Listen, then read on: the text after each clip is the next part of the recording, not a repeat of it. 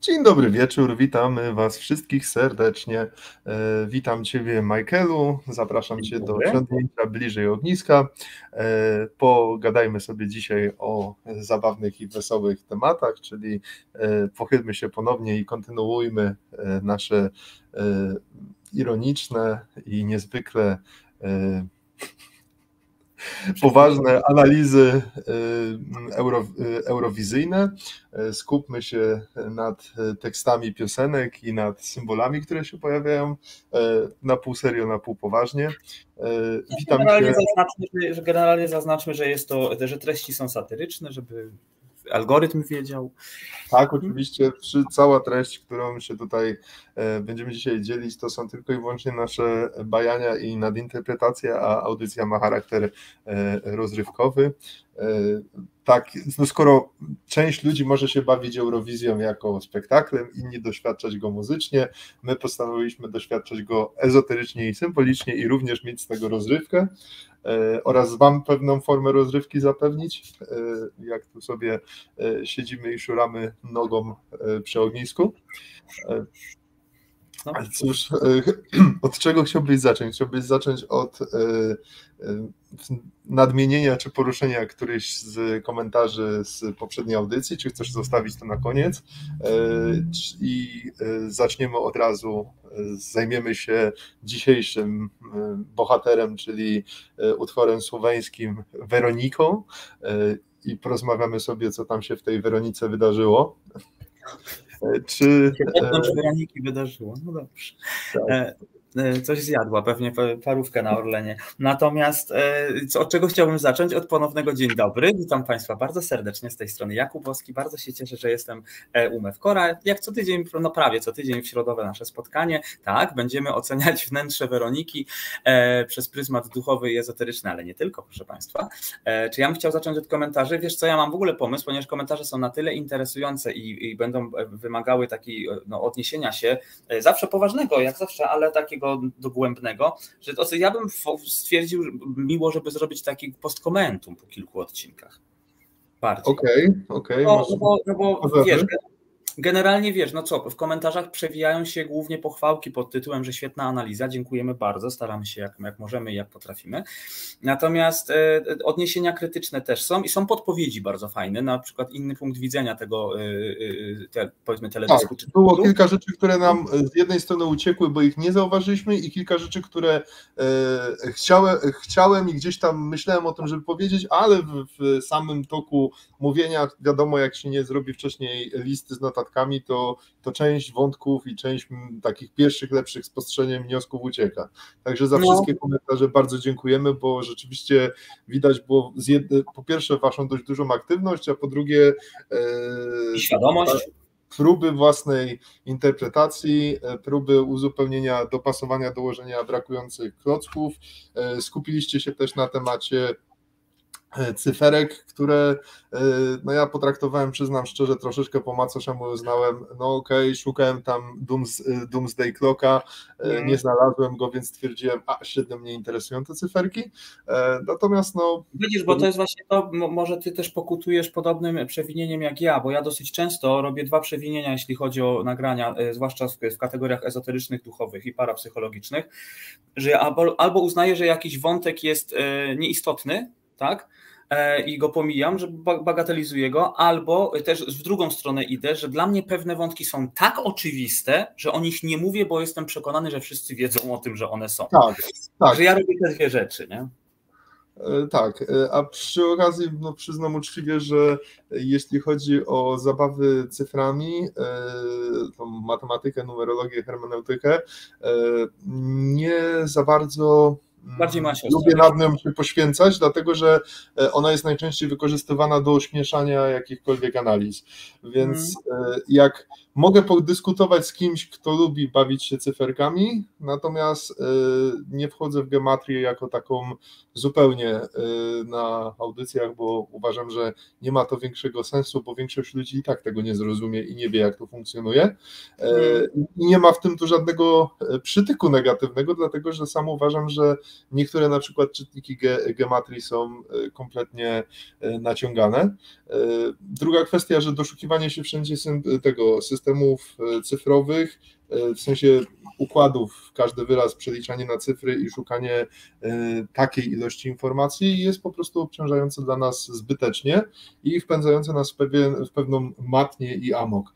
No, Natomiast... można to robić, bo ja wiesz, ja tak mówię, moja siostra, specjalista numerolog od wielu lat i siedząca bardzo głęboko i holistycznie w tym temacie, ja się od niej dowiaduję co chwilę, że na przykład ja źle podliczam daty nie? bo ona mówi, tam też jest kolejność działań. Tak jak w matematyce masz kolejność działań, najpierw wiesz, tam dodawanie, odejmowanie, mnożenie, dzielenie, tego, to wszystko ma swoją kolejność, tak i w numerologii też.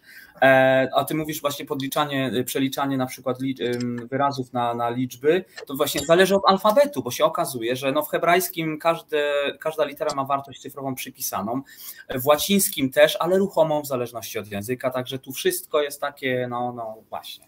To nie jest prosta sprawa, proszę Państwa. Także numerologię zostawmy numerologom. A czy liczbowe wartości czy wiesz co, powiem ci, ten zegar mi, mi, ten zegar mi usiadł, w sensie ten zegar szachistów. W, tak, w... Zastanawia, zastanawia mnie, y, bardzo mocno przypuszczam, że trafne może być spostrzeżenie, że to mogą być wskazane daty. Tak, e, daty. To się, to się zweryfikuje z czasem i się okaże co i jak, dlatego że ja, ja szczerze mówiąc skupiam się w tej chwili na innym okresie y, czasowym, czyli skupiam się teraz na marcu y, do końca maja i na wydarzeniach związanych z manewrami. Być może, być może dlatego, że mam zaprzątniętą troszeczkę głowę na nasłuchiwanie i obserwowanie rzeczy z, z takiego świata szerokiej geopolityki oraz e, szumu związanego z tym, co się gdzieś tam e, na świecie dzieje. No, e, i w tych mainstreamach, i poza mainstreamami. E, natomiast no, mm, możliwe, że to są jakieś istotne daty i to będziemy mieć okazję zweryfikować, tak. Oczywiście powiem tak, ilość symboli oraz ilość yy, Y, wątków y, o charakterze okultystycznym, które się pojawiły w y, Towerze, no to mieli, mieliście okazję widzieć. To było półtorej godziny, w którym zasadniczo pojechaliśmy po najważniejszych tak, tematach. To pod kół, tak, tak. No. I to tylko i wyłącznie było wypunktowanie rzeczy, które tam są, a nie które trzeba było nadinterpretować czy dodawać.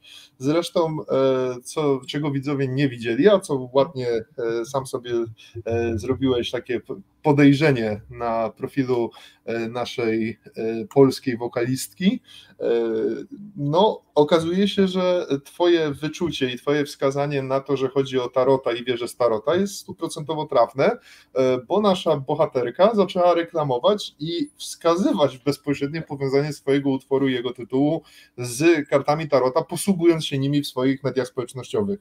A to widziałeś, bo, to, bo muszę tu pochwalić, mój chłopak to znalazł, przeglądając jej Instagrama, znalazł właśnie to, że ona miała posta z typową, sfotografowaną kartą wieży Starota. Także on wygrzebał to. E, ja byłem już też zdziwiony, mówię, no ale idziemy w dobrym kierunku, nie? Zgadza się. No to pozdrowienia e, dla chłopaka. Natomiast e, powiem tak, już sam fakt, że znajduje się ta karta Tarota na tych mediach społecznościowych, pokazuje Wam jednoznacznie, że nie mówimy tutaj o przypadkowym utworze i że analiza symboliki ma sens.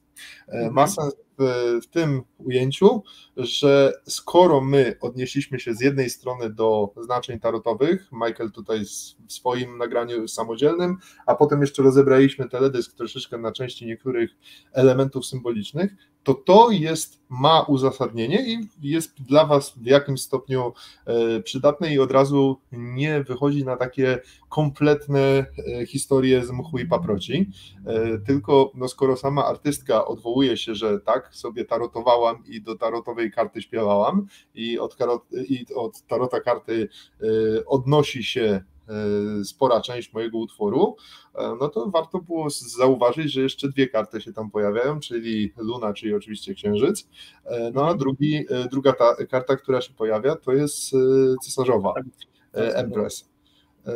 Głupiec tam się przewija, nie?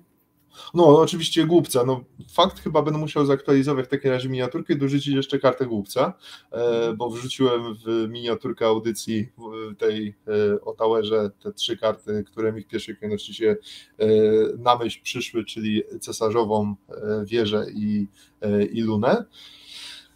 Niemniej mamy zatem pierwszy utwór, który jest wysoko tarocistyczny i ma w sobie treści odnoszące się bezpośrednio do tarota, ale co jest ciekawe i co postaram się dzisiaj troszeczkę dosypać i dołożyć, to może zainteresować tych widzów, którzy e, interesują się resetem 676 e, jest tam też zapowiedź resetowa, co starałem się troszeczkę zakomunikować już przy pierwszej analizie, a dzisiaj będziemy rozmawiać o utworze Weronika. I utwór Weronika jest już bardzo mocno resetowy. Powiem, e, powiem tak uczciwie, że byłem mocno zaskoczony, jak dalece, jeśli chodzi o ilość obrazów i o ilość odniesień, e, takich typowo już oklepanych motywów wizualnych odnoszących się do zapowiedzi wielkiego resetu, resetu cyklicznego, zostało zawarte w tym utworze. Szczególnie, że bardzo mnie śmieszy, że to nie jest tak, że tylko my zauważamy tą symbolikę, bo okazuje się, że zostały już poczynione zarzuty w stosunku do wokalistki e, Raven, e, która zresztą, jak można się domyślać, odwołuje się do kruka. E. Wokalistka została oskarżona o bycie wiedźmą i o to, że utwór jest czysto okultystyczny i to tak już nawet w strefie bardziej publicznej, co jest dość zabawne w tym kontekście, że E, to nie jest tak, że tylko takie dwa e, specyficzne typy jak Jakubowski i Mewkor siedzą sobie e, w, u siebie w pokojach, nagle dochodzą do wniosku, a to na pewno jakiś okultyzm jest. Nie, no tutaj mm. przypad, przypadkowi ludzie nagle zauważają te, ale ta pani robi jakieś dziwne rzeczy na tym teledysko, a tu są jakieś takie niepodobające nam się wątki. Gorejące krzaki w ramach reklamy teledysku też dają do myślenia. Natomiast Mm, to, co chyba jest najbardziej ironiczne w tym utworze i w, tym, w tej kwestii oskarżania e, mm, wokalistki utworu Weronika o bycie wiedźmą, to jest fakt, że e, teraz powstają nagrania, które tłumaczą, czemu ona nagrała okultystyczny teledysk, e, interpretując go jako, e, i tutaj proszę, mnie, proszę mi to wybaczyć, bo znowu będzie, że Mewkor ten męski szowinista, no teraz jest to tłumaczone, że to jest tak naprawdę propagandowo emocjonalny utwór feministyczny opowiadający historię krzywdy kobiety, która została oskarżona o bycie wiedźmą. Mhm. Dlatego, że e, oficjalna interpretacja, którą możecie bez większego problemu znaleźć w internecie, e, sugeruje, jakoby ten utwór był hołdem e, dla postaci Weroniki Desenice, która no, jest pierwszą słoweńską kobietą oskarżoną o bycie wiedźmą, e, która miała rzucać uroki, w szczególności urok miłosny, e, i która miała doprowadzić do upadku e, generalnie jednej z dynastii zarządzających w pewnym okresie Słowenią. W konsekwencji czego no, wpisała się w historię tego kraju na karty historycznej, że ten utwór Weronika rzekomo jest bezpośrednio nawiązaniem do e, tejże postaci historycznej. Także widzicie, mamy dziewczynę, która została w średniowieczu oskarżona o bycie wiedźmą, i mamy obecną wokalistkę, która zostaje oskarżona o bycie wiedźmą. Przy czym przyczyny są zupełnie różne. Jedna zostaje oskarżona o e, bycie wiedźmą przez ówczesnego władcę lokalnego, e, dlatego że nie podobało mu się, że jej syn, że jego syn zamordował swoją żonę tylko i wyłącznie po to, żeby ohajtać się ponownie z Weroniką. E, natomiast e, i z tego względu władca, ojciec senior uznał, że coś tu jest nie tak z tą dziewczyną, więc może jest wieźmą, więc może sprawdźmy to. No bo to nienormalne, żeby mój, mój dobry, wspaniale przeze mnie wychowany syn i następca tronu zamordował swoją, e, swoją małżonkę z pobudek jak jakiejś dziewczyny niskiego pochodzenia. E, to, był, e, to była historia tej historycznej dziewczyny, Weroniki e, Deseniski. Natomiast jeśli chodzi o Weronikę współczesną, no w, te, w przypadku Raven oskarżenia o okultyzm są wynikające stricte z obrazów, które pojawiają się w teledysku. Wiesz, bo tak jak mówisz, e, ja, no, no ja jestem e, e, ezoterykiem, ja jestem wiedźminem, ja się tymi rzeczami zajmuję odkąd pamiętam, czyli bardzo, bardzo długo, ale ja celowo podrzucałem teledyski do moich znajomych, którzy średnio się tym interesują.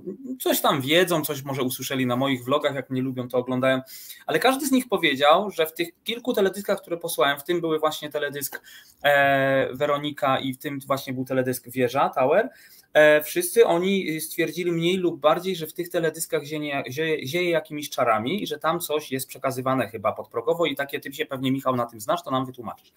E, ale zwykli przeciętni zjadacze chleba to widzą. W tym roku ja właśnie chcę sprawdzić, bo wiesz co, ja nigdy, ja byłem bardziej zawsze cynicznym prześmiewcą Eurowizji e, i jakoś nie, nie, śledziłem w ogóle tego kontestu, tego, tego, tego, tego festiwalu. I ja się zastanawiam, czy oni dopiero w tym roku zaczęli robić takie akcje, że autentycznie lecą przekazy i to takie wręcz bym powiedział ordynarne. To znaczy tu leci przekazowo e, to jest tak wręcz rzucające się w oczy, że nie trzeba się naszukać nie? jakiegoś przekazu ukrytego. Natomiast E, natomiast e, czy oni zawsze tak robili? Ja pamiętam no Eurowizję tak. ze czasów z lat 90., kiedy tam naprawdę fajne piosenki grali, które potem były przebojami przez kilka lat. No potem to się zepsuło, więc przestałem to jakby śledzić. Natomiast też mi się gust muzyczny zmienił. Natomiast, e, natomiast mnie zastanawia właśnie ciekawe dla tych widzów, może pytanie, którzy śledzą Eurowizję od lat, czy ta zmiana nastąpiła dopiero w tym roku, czy to już było wcześniej? No bo tą znaczy- naszą, naszą e, e, tą, jak ona się nazywała, ta w zeszłego roku, Mm, Jezu, uciekło mi. Koko, koko, eurospoko? Nie, koko, eurospoko to było, to było, to było, to był przecież hymn na um, tak, euro. mistrzostwa euro ukraińsko-polskie jako chyba pierwsze mistrzostwa jako wspólny Ukropolin tak naprawdę.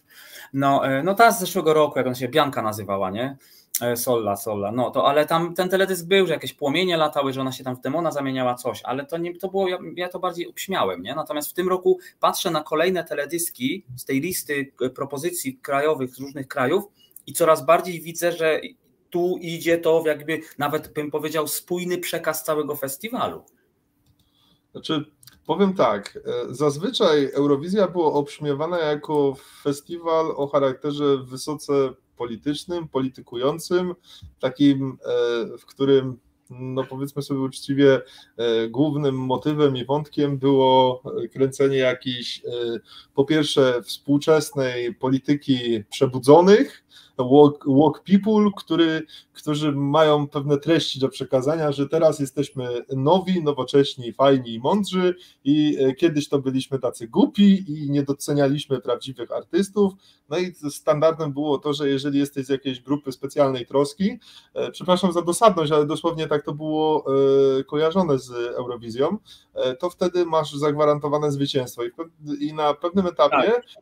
ten festiwal zaczął być festiwalem, kto będzie bardziej dziwny, kto będzie należał do bardziej skrajnie potencjalnie umownie prześladowanej grupy, temu gwarantujemy zwycięstwo.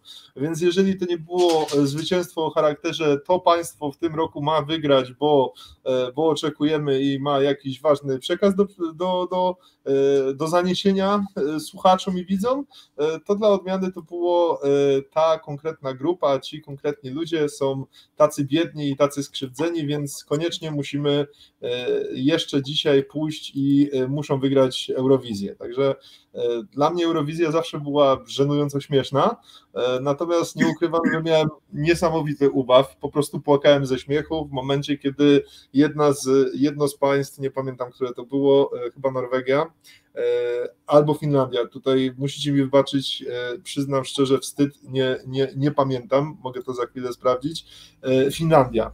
Finlandia postanowiła wysłać jako swojego reprezentanta e, fiński zespół muzyczny e, Lordi, który jest kapelą e, metalową, metalu progresywnego hard rocka, która w kategorii dziwni ludzie, dziwności i śmieszności była nie do przebicia. No po prostu stwierdziłem, że jak oni pojadą, to nie na pewno wygrają Eurowizję, z racji tego, że nikt nie będzie dziwniejszy od nich, bo w kategorii dziwność i w kategorii e, e, robienie sobie jaj z bycia dziwnym, e, ta kapela osiągnęła szczyt możliwości na rynku międzynarodowym i od kiedy KIS przeszedł do, e, do powiedzmy powiedz, na muzyczną emeryturę, no to Lordi zajął tą chwalebną pozycję, wytępiając tak naprawdę, zastępując wszystkie sąsiadujące kapele około metalowe, nabijając się po prostu jawnym tekstem, za co zresztą Lordi jest dość mocno nielubiany przez część wokalistów metalowych, z ich zamiłowań do satanizmu, demonów, diabłów i tak dalej. No generalnie kto nie słyszał, e, kto nie wie e, o której kapeli mówię, to dla waszego ułatwienia pokażę wam za sekundkę e, zdjęcie. Lordy to jest kapela, gdzie cały koncept artystyczno-wizualny zespołu polega na tym, że no, drużyna pierścienia, czyli wokalista razem z członkami zespołu poprzebierali się po prostu żywcem w kostiumy demonów i potworów z baśni. Mamy tam Banshee, mamy tam zombie, mamy jakiegoś demona króla piekieł, no i oczywiście powitalnym utworem jest Hard Rock Alleluja, czyli że tylko i wyłącznie demoniczne potwory mogą, e, mogą grać dobrego, e, dobrego rocka. E, natomiast no, Oczywiście kapela Lordi wygrała, co, co było dla mnie przewidywalne, ale to był moment przełomowy, dlatego że zacząłem się wtedy z Eurowizji śmiać już w takim bardzo otwarty sposób i e, z uśmiechem e, od ucha do ucha ignorować wszystkie możliwe festiwale, e, zakładając, że nic po Lordi lepszego się tam nie pojawi. I rzeczywiście tak było. No. no, znaczy wiesz co, to ja, ja już ich nie znam, e, znaczy znam ich dzięki temu, że ty mi opowiedziałeś o tych Lordich, albo już nie oglądałem tego, dla mnie tu właśnie Aspi wymienia. U mnie moment w ogóle skupiania się, dawania uwagi e, Eurowizji skończył się na tym, e, jak pojawiła się tam istota o pseudonimie Conchita Wurst. To była kobieta z brodą, czyli facet, Wurst, czyli kiełbasa po niemiecku, z czym się kojarzy kiełbasa takim erotycznym skojarzeniu, to każdy wie i ja wtedy pomyślałem, że albo to zrobili dla jaj, że facet z brodą nazywa się Conchita Wurst i wygrało to coś. E, e, I w tym momencie powiedziałem, dla mnie, dla mnie Eurowizja się skończyła, nie? Znaczy powiem tak, Conchita Wurst to był moment, po którym robiło się y, na skojarzenie Eurowizji niedobrze, w rozumieniu takim, że y, miałem nieszczęście być w Austrii w momencie, kiedy zaraz po festiwalu Conchita był na topie i był między innymi e, w reklamach banków i wchodziłeś do banku, oddziału lokalnego Banku Austrii, na marginesie logo i cała reszta taka sama jak w tamtym czasie PKO, które nam nie należało do Polski, PKO BP. -hmm. Wtedy niestety straciliśmy sporą część, to była zmiana loga i w ogóle ogóle. No i właśnie wtedy wchodziłem do Banku Austrii i spotykałem taki duży e, tekturowy stand z Conchitą Wurst, który trzymał się e, na wysokości krocza, e, na sukience i wyciągał do ciebie rękę. No i to był po prostu taki moment, w którym uznawałeś, że jedyne co możesz, z czego wolno korzystać w Austrii to bankomaty, do banku się nie chodzi. Aha. No natomiast tak z tym się kojarzyła Eurowizja, dokładnie z tym. Natomiast od ostatnich kilku lat wygląda na to, że zaczynają iść bardzo mocno w symbolikę, e, znaczy zaczynają odchodzić od e, czystej polityki w okultyzmy i symbolikę. E, no i mm, artyści zdają się prześcigać, kto wymyśli bardziej pokręcony kawałek, a w tym roku no mamy chyba koncept życzeń, jeśli chodzi o okultyzmy. No i przejdźmy może do tej Weroniki, nie? Zajmijmy się Weroniką, właśnie, bo idziemy w stronę omawiania e, Eurowizji, która, wiesz, bo to jeszcze do jakiegoś czasu był festiwal muzyczny i piosenki, a to tak jak ty mówisz, oni od pewnego czasu, to w ogóle tam nie ma zainteresowania muzyką jako taką. To jest bardziej chyba festiwal pokazywania zupełnie czegoś innego, co myślę za chwilę pomożesz mi albo ja tobie wyłuszczyć naszym widzom. Na przykładzie Weroniki. Ja jeszcze tylko chciałem dodać, bo ty poszedłeś w Weronikę mm, Wiedźmę, a ja sobie tak od początku tą Weronikę, ten tytuł próbowałem uzmysłowić i, i tak no poszedłem w tę biblijną, najłatwiejszą część, ale jak oglądałem teledysk, to mówię, po części trochę idę w dobrym kierunku, bo ta Weronika jako niosąca zwycięstwo, ale zastanowił mnie motyw, też proszę Cię, żebyś może to omówił pokrótce, co ja mam w głowie. Motyw, czy to mogło być odniesienie do tego, że Weronika była uczennicą Chrystusa i jedyną kobietą, która wyszła wtedy w czasie prowadzenia go na mękę z tłumu, żeby obracać tak? Tak. Poruszymy hmm. to y, okay. i opowiesz dokładnie to, co ty wykopałeś z, i co ci przyszło do głowy z kwestią Jezusową i poruszymy mm -hmm. też znaczenie imienia Weronika, ale mm -hmm. będzie nam to łatwiej zrobić, jak wyciągniemy to w konkretnych okolicznościach, bo trzeba odpowiedzieć sobie, że to nie chodzi tylko o tytuł. Bo okay. motyw Weronika pojawia się w tekście i jest trudne do zrozumienia i tutaj w zależności od tego, jak go zinterpretujemy, mamy zupełnie inny wydźwięk piosenki. I twoje, twoja interpretacja z imieniem i powiązaniem z interpretacją tą e, chrześcijańską jest bardzo dobra i daje jedno znaczenie, takie pozytywistyczne powiedzmy tego utworu, natomiast druga interpretacja jest wymowna. Także pierwszy, pierwszy punkcik za, zaproponowałbym tak. Zaczynamy e, od omówienia oficjalnej wersji wydarzeń, że ten utwór odnosi się do e, Weroniki Deseniki. Dobrze pamiętam? Dobrze mówię? Weronika E, Desenice, tak, Desenika, e, Desenińska. E, no to oficjalnie utwór się odnosi do pani, którą tutaj wrzuciłem jako zdjęcie, czy zdjęcie, obraz z czasów, z czasów jej życia, podobno odpowiadający jej wyglądowi. No generalnie, kiedy się dziewczyna urodziła, nie wiemy. Motyw, tak jak wspomniałem, pierwszy i główny, znana w historii jest dlatego, że jest pierwszą sądzoną w Słowenii E, i oskarżoną o bycie wiedźmą. Także już pierwsze, co nam przychodzi do głowy, jeżeli to jest oficjalna wersja e, tematyki tego utworu, to należy sobie zadać pytanie, czemu Raven na utwór na Eurowizję wybiera nomen omen historię pierwszej, pierwszej kobiety oskarżonej o bycie wiedźmą. No i oczywiście, teraz możemy pójść w interpretację oficjalną, czyli żeby pokazać ciemiężenie, krzywdę i, i po prostu dramat, jakiego doświadczają kobiety ogółem, y, jak to teraz jest próbowane, żeby to przetłumaczyć, albo wariant drugi, bo chciała podkreślić, że zajmuje się kim? No kobietą, która była oskarżona o bycie wiedźmą. Czyli mówiąc wprost, interesują ją wiedźmy i procesy wiedźmy. Czemu interesują ją wiedźmy? To można się domyślić patrząc później na zdjęcia samej Raven i na resztę teledysku. Ale przedstawmy ogólny zarys historii. Więc mamy sobie tą Weroni Weronikę w Desenice. E, no i dziewczyna miała pecha e, no, wpaść w oko e, królowi. Był sobie król, który no, zakochał się chłopak w niej.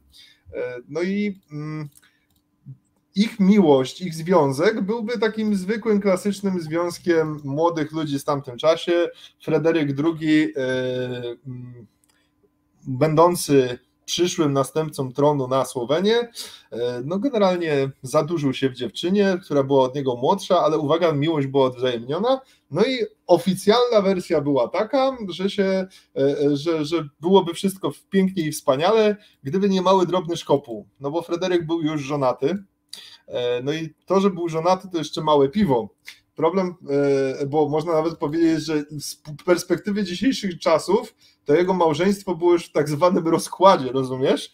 E, że, no bo z żoną nie mieszkał, żona była odesłana do jakiegoś tam sobie innego, innego zameczku, mieszkała sobie w innym pałacu, nie spotykali się, dzieci nie było, spotykali się tylko okazjonalnie, jak była jakaś taka, wiesz, wyjście, wyjście na salony wspólne. E, no więc e, można powiedzieć, że Fryderyk się po prostu prawdziwie zakochał. No nie zmienia to faktu, że jego sposób e, komunikacji tego potencjalnego rozwodu wyszedł jego małżonce ówczesnej bardzo kiepsko, dlatego że akurat tego wieczora, kiedy miał rozmawiać i Fryderyk wyznać, że kocha Weronikę, to następnego poranka jego żona budzi się ze sztyletem w szyi co może sugerować, że mogła być niezadowolona albo nie do końca skłonna do przyjęcia papierów rozwodowych e, na tamte czasy. E, więc e, jej małżonek, czyli Fryderyk, postanowił, no skoro nie można wziąć rozwodu, to zakończył związ ich związek zakończył się w następstwie naturalnego przecięcia i wygaszenia, czyli tego, że jedna ze stron umiera. E, to, że w okolicznościach niekoniecznie naturalnych, to znaczy naturalnym jest, że wykrwawiła się ze sztyletem w gardle, natomiast e, nienaturalny był e, motyw pojawienia się sztyletów w jej tchawicy.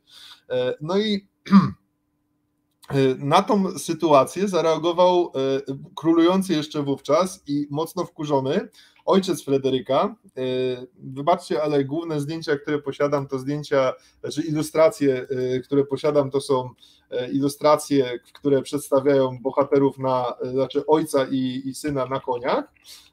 No i ojciec, czyli Herman II, no stwierdził, że synek, trochę ci tam chyba po głowie bije, ale ja cię dobrze wychowałem, ty dobry chłopak byłeś, to przecież nie ma takiej opcji, żebyś ty po prostu tak sobie żonę zabił, więc na pewno ta babka, co, co ty dla niej oszalałeś, to wiedźmą była.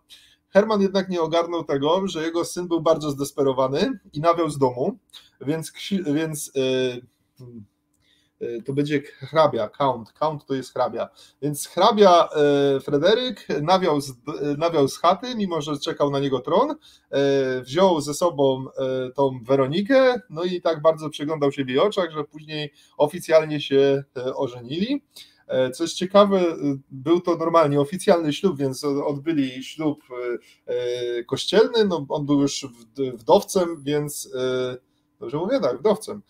Więc w konsekwencji tego no, zostaje, ma już legalnie nową żonę. Herman nie zdążył zareagować, ale co jest ciekawe, jak Państwo młodzi gdzieś tam sobie na obrzeżach przebywali, Fryderyk jako niezbyt zaradny postanowił pojechać po jedzenie dla siebie i swojej nowej młodej małżonki, no to został pojmany przez ojca. No tak, zastanówcie się, że hrabia zasuwający, uciekający z domu w tamtych czasach raczej przyciągał uwagę, a mówimy tutaj o czasach w okolicach 1400 roku.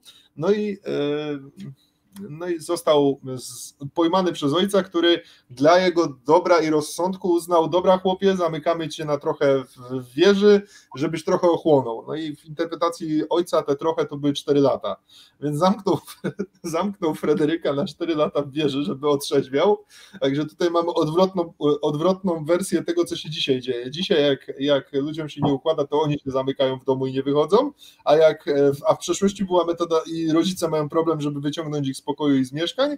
E, tak kiedyś była metoda odwrotna, zamurowywało się dzieci w budynkach i to zazwyczaj powodowało, że mieli czas przemyśleć swoje postępowanie. W tamtym czasie oczywiście ojcu prędzej e, po długich poszukiwaniach udało się również pojmać e, tą naszą Weronikę. No i Weronikę e, ojciec spojrzał na nią i stwierdził, nie no, w normalnych warunkach nie ma opcji, żeby mojemu synowi coś odbiło, na pewno jesteś wiedźmą. Oskarżenie rzucone musiało zostać zweryfikowane i teraz uwaga, podkreślam kolejny raz, musicie o tym pamiętać. Wszelkiego rodzaju sądy nad wiedźmami były prowadzone przez instytucje świeckie i z inicjatywy instytucji świeckich. Zawsze musiał być to na, lokalny e, świecki władca, który wydawał decyzję i dopiero wtedy wzywano ewentualnie do konsultacji pod kątem e, magicznym albo liturgicznym e, i sprawdzano, czy przypadkiem mamy do czynienia z heretykiem. No więc tak też zrobiono, wezwano komisję, komisja posadziła między sobą Weronikę i zaczęli dyskutować. I tutaj plot twist, dlatego że Weronika miała, dostała obrońcę. I to było ciekawe, faceta, który i, I tutaj e, no, hrabia Herman był trochę wkurzony, bo był przekonany, że jego też musiała oczarować. E, mianowicie e, obrońca tak dobrze ją bronił i tak dobrze ją, on i ta Weronika przekonywali sędziów oraz wszystkich zebranych, że ostatecznie stwierdzono, że no nie, nie jest wieźmą, po prostu młody książę się zakochał, miłość była prawdziwa, ona też go kochała, więc w sumie dobrą dziewczyną była, no i w związku z tym należy e, ją uniewinnić i jej odpuścić. No i Weronika, tym samym pierwsza oskarżona w Słowenii o bycie wiedźmą, została uznana za niewinną i niewiedźmę. Ale Herman, dobra. Mhm. Tak, ale wtedy Herman sobie przypomniał, że w sumie to ja jestem władcą na tym terenie i ten wyrok nie jest mi do niczego potrzebny, bo mogę ją skazać za dowolną rzecz albo tak po prostu.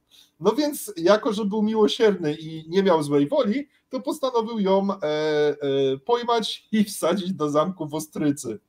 E, e umiejscowienie dziewczyny w zamku w Ostrycy zakończyło się, najpierw miało być to coś w rodzaju e, przymusowego pobytu w resorcie wypoczynkowym o wysokim standardzie, który... Takie, auram, takie arłamowo.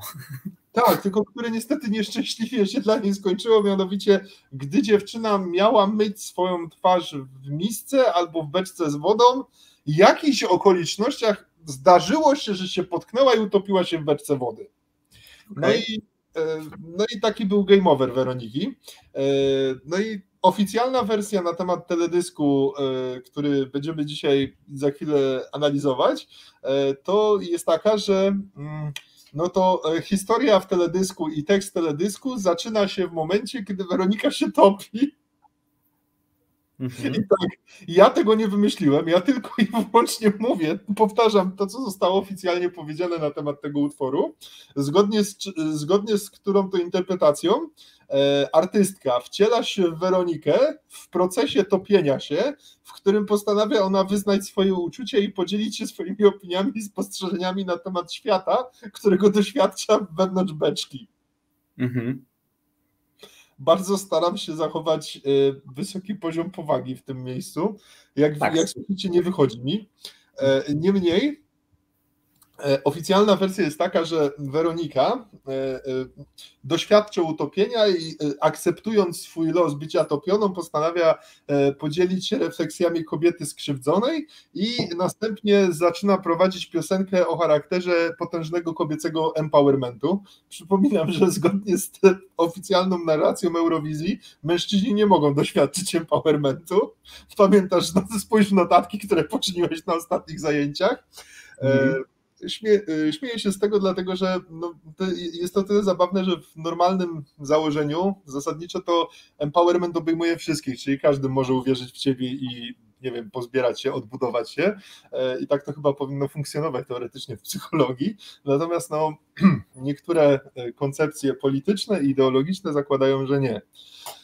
No i taka jest wersja oficjalna. A teraz nieoficjalna. Polecimy po tekście. Przetłumaczyliśmy go sobie z automatu, więc przeczytam Wam go po polsku i e, będziemy omawiać poszczególne fragmenty razem z obrazkami, które się dzieją w trakcie.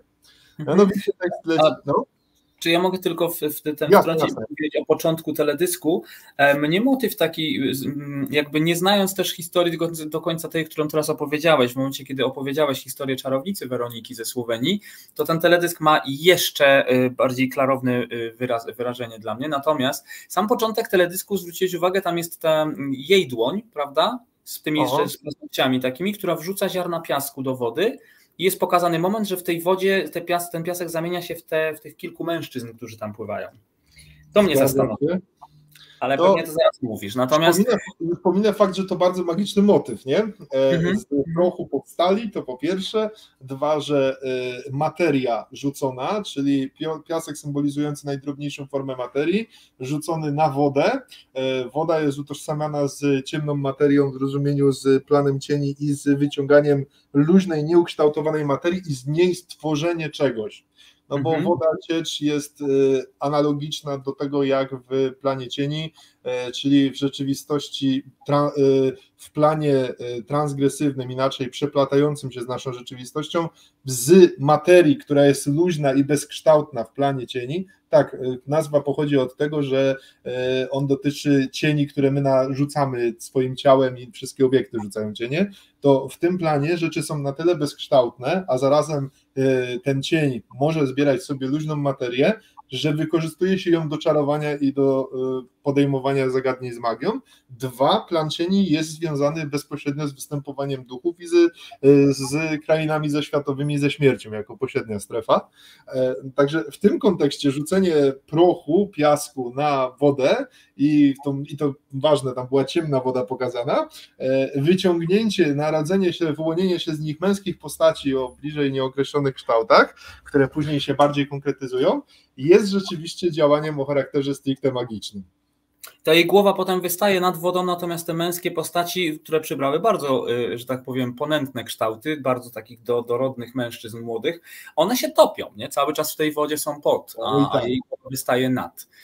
E, ciekawostkę tutaj tylko dodam, już się dopuszczam do, do, głosu, tylko taka z mojej strony ciekawostka, znowu ta moja multilingwistyczność bardzo fajnie wyszła, bo ja jednym z głównych języków, które miałem na moich pierwszych studiach filologicznych był język słoweński i miałem też możliwość sobie porównania e, tych, e, bo tam leciały te podpisy angielskie, a piosenka jest po słoweńsku. I są fajne, może nie różnice, ale fajne takie odnośniki jednak, że w tekście angielskim niektóre wyrażenia niezbyt dosadnie zostały przetłumaczone, Natomiast oddają treść jak najbardziej, natomiast w słoweńskim brzmi to tak bardziej dosadnie. O, tak bym powiedział.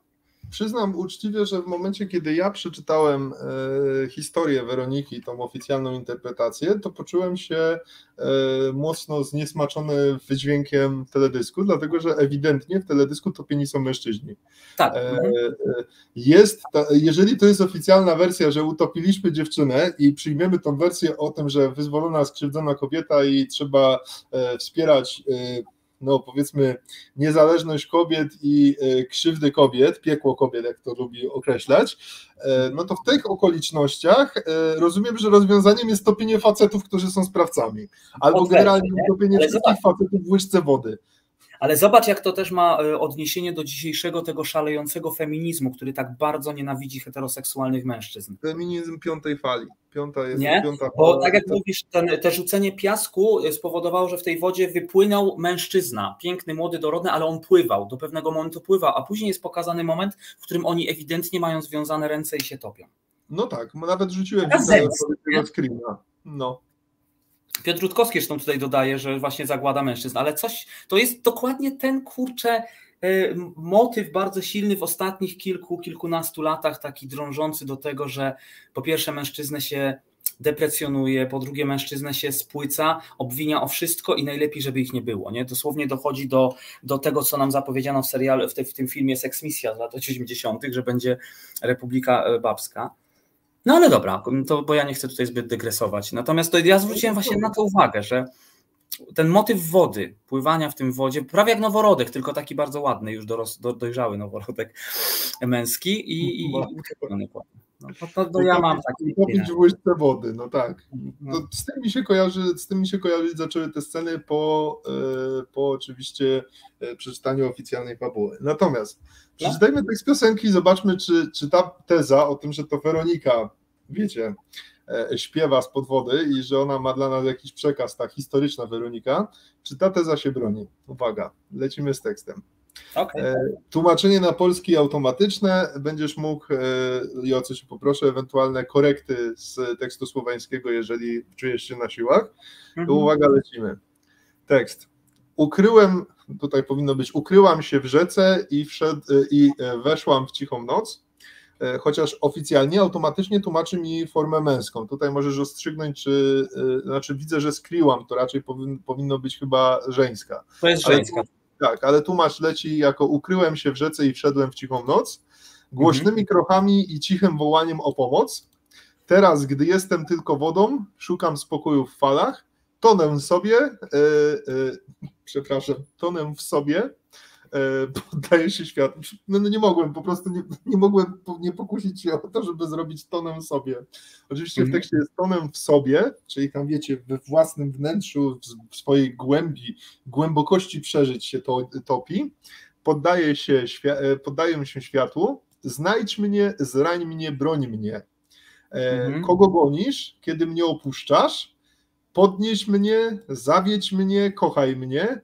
Kto cię goni, kiedy się mnie boisz, kogo się boisz, ukrywając swoje pragnienia, patrzysz w me oczy, twój obraz jaśnieje w nich, jestem lustrem bez oprawek, jestem tylko odbiciem twoich lęków, znajdź mnie, zrań mnie, broń mnie, kogo gonisz, kiedy mnie opuszczasz, podnieś mnie, zawiedź mnie, kochaj mnie, kto cię goni, kiedy się mnie boisz. I dalej jest ten fragment, który jest najtrudniejszy do zinterpretowania, jest taki.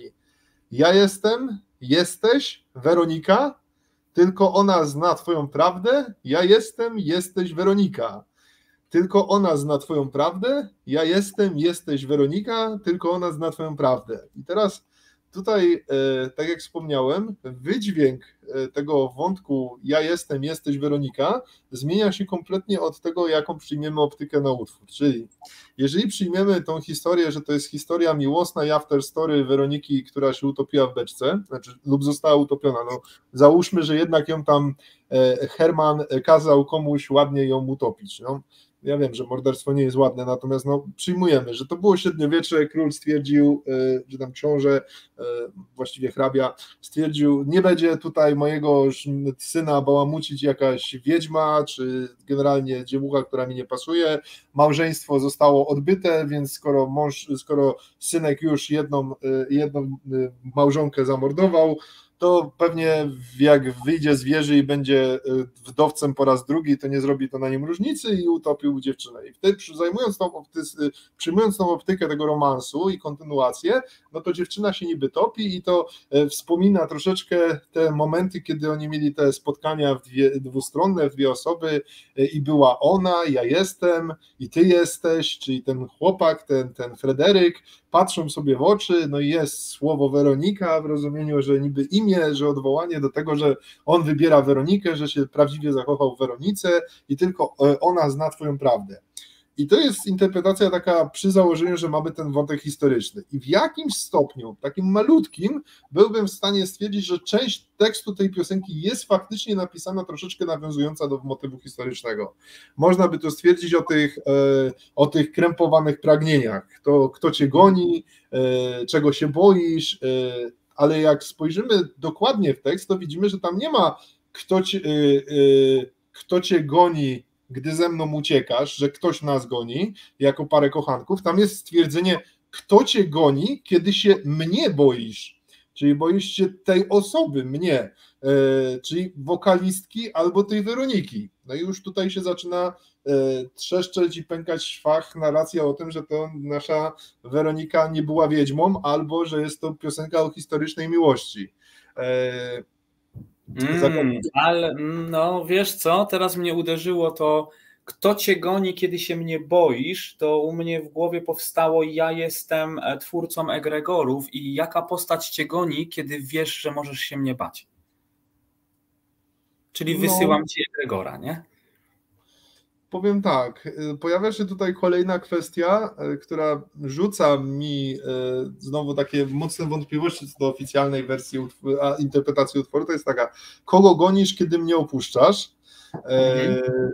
I co tu jeszcze mamy? Oczywiście te wątki, znajdź mnie, zrań mnie, broń mnie, podnieś mnie, zawiedź mnie, kochaj mnie i no to w sumie, te, a i znajdź mnie, zrań mnie, broń mnie. Wspominałeś, że to nadi ranime, ranime e, jest znaczące, to, to, to, to o to na pewno ciebie chcę zapytać, co, co, co to może znaczyć? W sensie, dlaczego wspomniałeś, że to sformułowanie jest istotne? Z tym, biorąc pod uwagę tą, jakby tu, tu, odebrałem to, znaczy odebrałem, takie mam wrażenie trochę szyderstwa albo przekory w tekście na zasadzie, że mężczyzna zawsze, kobieta, kobieta ta, ta kobieta uważa, że mężczyzna jest od tego, żeby y, odnajdywać ją, od, odgrywać jej pragnienia, ale jednocześnie być dla niej okrutnym panem, który będzie ją zarówno bronił, jak i ranił czyli panem i władcą, e, panem życia i śmierci, i że ten mężczyzna to właśnie taki niedobry. Bo zobacz, to e, e, znajdź mnie, ale szczególnie to ranime, branime, czyli zrań mnie i obroń mnie, jest takie na zasadzie oszukaj mnie, skrzywdź mnie, ale obroń mnie, kiedy będzie krzywda, bo ja jestem twoja. E, na takiej zasadzie tych kobiet, które no, e, niechby pił, niechby bił, ale żeby był, nie? Czyli tutaj jest, tu, tu idzie w tą stronę moim zdaniem takiej prześmiewności, że ta kobieta nie jest już, ale może być taką właśnie kiedyś, albo była kiedyś taką zabawką, własnością męską. Podnieś mnie, zawiedź mnie, kochaj mnie. Okej. Okay. No, nie, nie, nie, no właśnie, zawiedź mnie. To, no. No, no.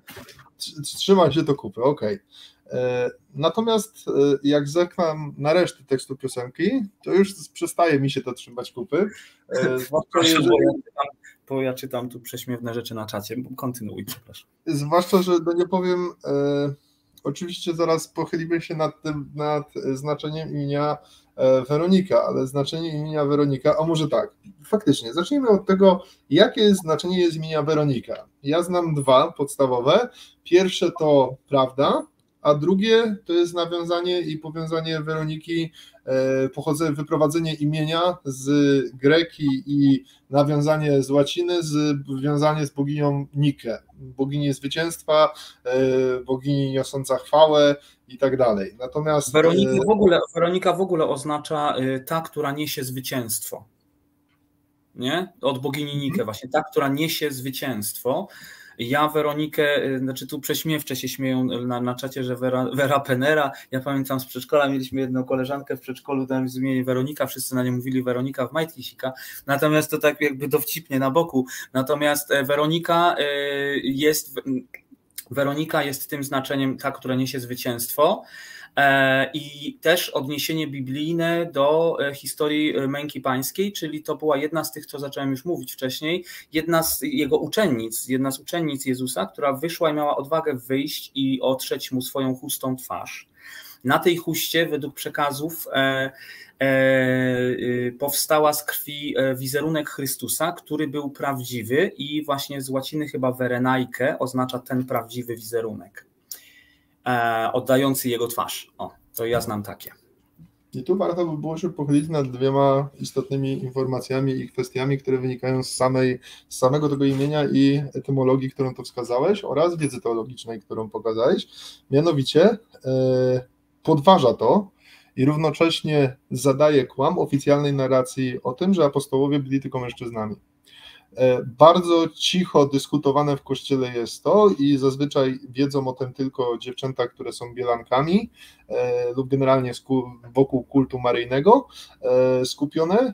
Wiedzą o tym, że Jezus miał również uczennice, to pierwsze. Oczywiście temat nagłośniony przez Dana Brauna i podniesiony do pewnego rodzaju ironii i sarkazmu, czyli temat Marii Magdaleny oraz roli Marii Magdaleny.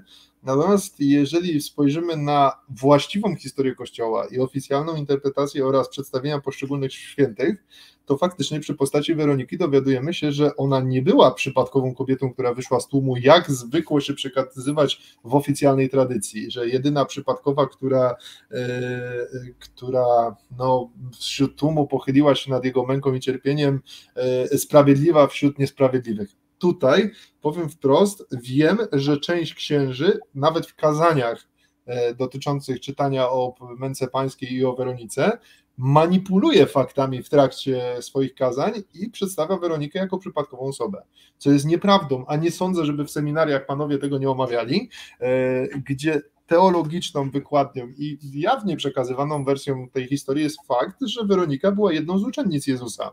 E, mało tego, dyskutuje się i bardzo dużo rozmawia się o tym, że e, kobiety, choć niewymienione, uczestniczyły również w ostatniej wieczerzy jako pełnoprawni uczniowie. Tych kobiet, które według tradycji były przekazywane, była trójka albo czwórka. E, niektórzy mówią, że zostały wycenzurowane ze względów na między innymi fakt, że albo usługiwały i to źle wygląda i w ogóle.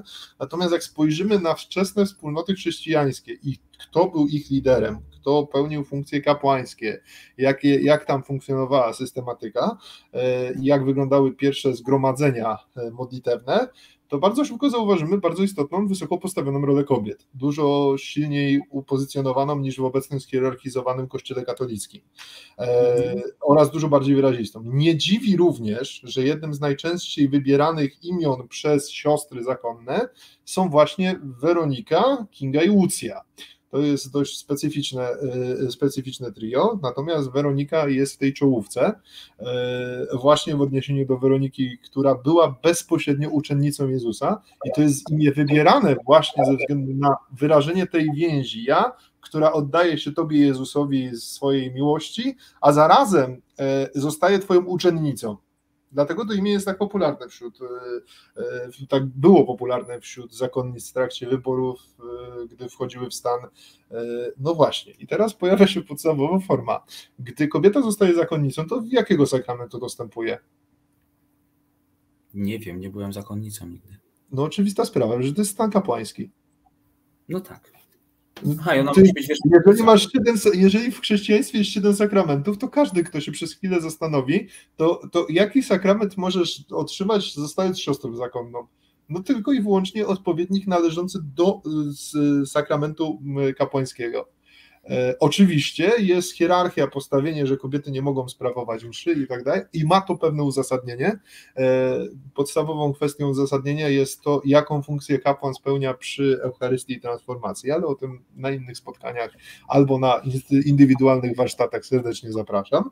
Natomiast, e, natomiast jeśli chodzi o mm, postać tutaj Weroniki, no przedstawienie Weroniki jako tej, która pokazuje prawdę.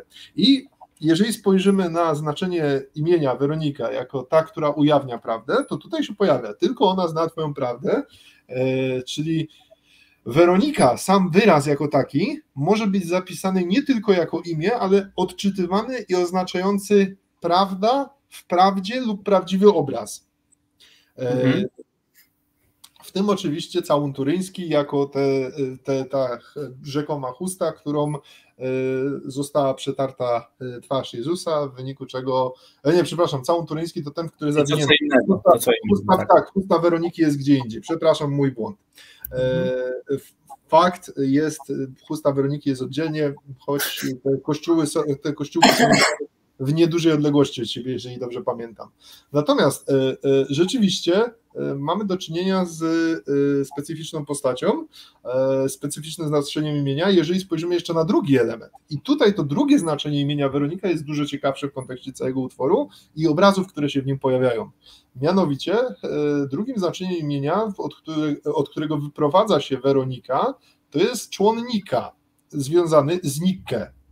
Mhm czyli no generalnie rzecz biorąc boginią zwycięstwa, e, chwały, e, wygranej wojennej oraz generalnie e, przejawu mądrości. Dlaczego? Dlatego, że Nike była związana z boginią Ateną, według niektórych mitów była dzieckiem Ateny lub wyskoczyła z głowy Ateny, co jest dość zabawne, bo Atena sama miała wyskoczyć z, e, miała wyskoczyć z głowy Zeusa, czy też narodzić się z głowy, z umysłu Zeusa, e, natomiast e, Nike pojawia się w różnych wariantach wokół Ateny, natomiast bardzo często takim utartym wizerunkiem jest Atena jako królowa mądrych wojowników i na marginesie również królowa wojny, patronka Amazonek też w niektórych interpretacjach.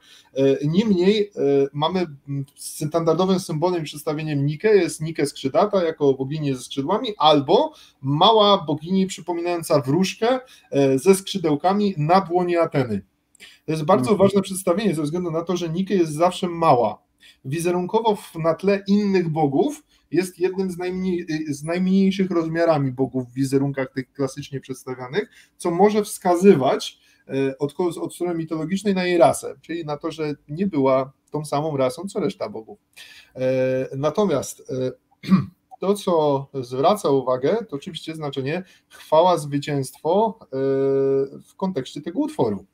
No bo jeżeli spojrzymy na Weronikę nie tylko jako prawdę, ale również jako zwycięstwo, to zmienia nam się wydźwięk utworu i tłumaczy nam to, dlaczego chłopaki są topieni w tym utworze. Mhm. No bo sobie teraz y, y, zróbmy, y, spójrzmy jeszcze raz na nasz utwór. O, widzę tutaj Eliszka słusznie, ładnie zauważyła, całą z Manno, Manopelo. Zgadza się? I ja podkreślam, ja popełniłem błąd, skrót myślowy, pomyślałem o całunie, bo mi się wizerunek Jezusa przypomniał i to jest ewidentnie mój błąd. E, natomiast e, wcześniej Eliszka nas skrytykowała, że najzabawniejsze jest, kiedy tekst, e, tekst piosenki trzeszczy i pęka, kiedy dwóch facetów interpretuje tekst piosenki śpiewany przez dziewczynę. Tak, ale śpiewany przez dziewczynę, natomiast ja sobie sprawdziłem, przez kogo był napisany, bo to jest ważniejsze. I okazuje się, że tekst ma aż sześciu autorów. O, to bardzo ciekawe. Tekst jest mega, znaczy mega prosty. No, on wygląda na mega prosty i krótki. Ma sześciu autorów, z czego chyba czterech autorów to są kobiety, ale ta, tyle autorów jest wymienione. pracowało nad tym wyjątkowo skomplikowanym tak. tekstem, tak? A jeszcze a propos tekstu, bo tak sobie tylko zerknąłem, to naprawdę ja bym to jakby na boczną analizę a. dopiero zniósł, ale spojrzałem sobie na tekst słoweński piosenki e, i tam, gdzie mówisz o tym, że e, kogo gonisz, kiedy się mnie boisz, tak? Mhm to nie y, kogo gonisz, ponieważ tam jest y, y, lovity jako czasownik koga lowisz, czyli na kogo polujesz. Lovity to jest polować, a nie gonić. To, ale to bardzo dużo zmienia. No to bardzo jeszcze zmienia. Mhm. E, ta piosenka ma 19 e, zdań e, i później, doda, i, i, później dwa razy powtórzone ja jestem, jesteś Weronika, tylko nas naprawdę 3-4 zdania. No, jeżeli bardzo chce się ktoś uprzeć, to 27 zdań, 6 osób. No gratuluję. E, niemniej skupmy się na tym pierwszym fragmencie, który dość dużo nam mówi. Ukryłam się w rzece i, wszedło, e, i weszłam w cichą noc. Mam tłumaczenie, ukryłem się w rzece i wszedłem w cichą noc, dlatego mi prawie wyszło wszedłam. Wybaczcie. E, głośnymi krokami i cichym wołaniem o pomoc. Tylko, fragment... i jeszcze by mnie w małym stopniu przekonał, że może chodzić o, topie, o to topienie się. Natomiast po pierwsze obrazy się nie zgadzają, które się wtedy mm. pojawiają, bo e, interpretatorzy zwracają uwagę, że ona wtedy jest w wodzie, pojawia się w wodzie, topi się w wodzie, a to nieprawda, bo to nie są pierwsze sceny, w których ona e, występuje. Owszem, motyw z wodą jest, o tutaj proszę, jest, jest wychodzenie z wody, a dokładnie jej niejako odcięta woda, głowa wystająca z wody razem z rękoma, które próbują ją wciągnąć, z sugestią, że to niby ją ciągną w dół, a tak naprawdę to tutaj jest odwrotnie, one, te ręce szukają pomocy, bo same się topią, a, e, a jej główka wystaje. Natomiast e, my sobie spójrzmy na to, co się pojawia na samym począteczku. Na początku utworu pojawia się nam, e, i to jest motyw główny, przewodni, artystyczny, taki wizualny w tym utworze. Znowu są trzy, to też jest ważne. Pierwszy jest e, krótki motyw z krzewem gorejącym, który w niektórych ujęciach wygląda jak płonące spalone skrzydła, co jest bardzo wymowne. Drugim motywem jest taniec z tymi tutaj panami, a trzecim jest topienie mężczyzn.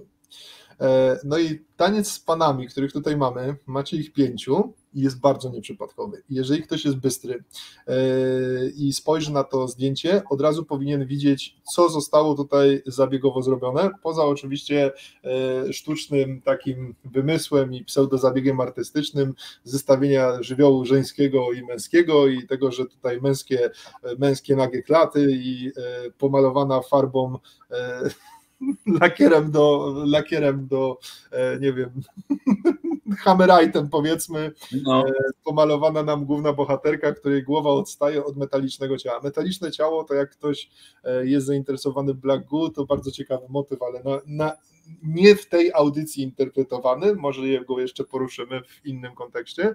Natomiast to, co pierwsze się rzuca, to Michael, patrzysz na to zdjęcie i co myślisz?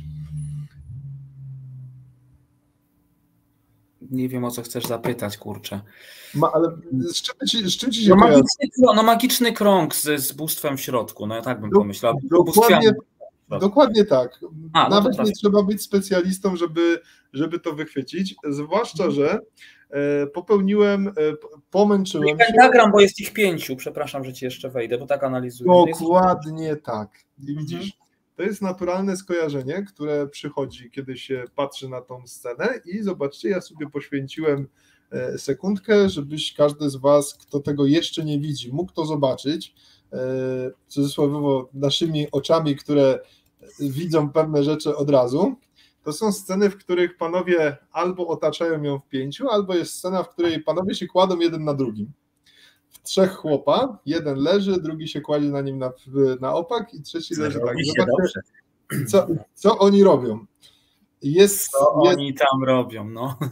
Jak stop, na, w pierwszym ujęciu mamy, to jest początek tej sceny, w której jeden pan już leży, drugi się na nim kładzie i wyciąga się w dół, a trzeci kładzie się na, na poprzek. Po co to robią? Zobaczcie, mamy tak jakby trójkąt, gdzie tą stronę wyznacza noga pana, i to ułożonego zresztą w, uwaga, tarot, tarotowa postać e, oczywiście e, głupca. Masz fula, zobacz, leży martwy chłopak jako ofiara, masz nogę wyciągniętą i noga zgięta.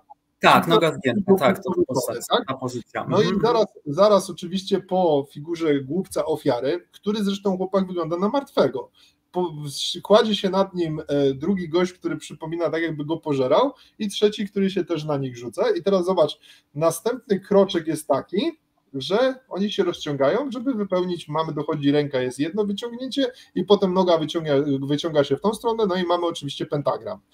Mało tego, jak wspomnieliśmy, wcześniejsza scena, panowie stoją w kółeczku i stoją w kółeczku, wyznaczając pięć ramion e, okręgu. Razem z mamy tutaj pentagram. W niektórych scenach, ale niestety nie udało mi się tego tak dobrze zescreenshotować, panowie układają ręce tak, żeby się zrobiła gwiazdka.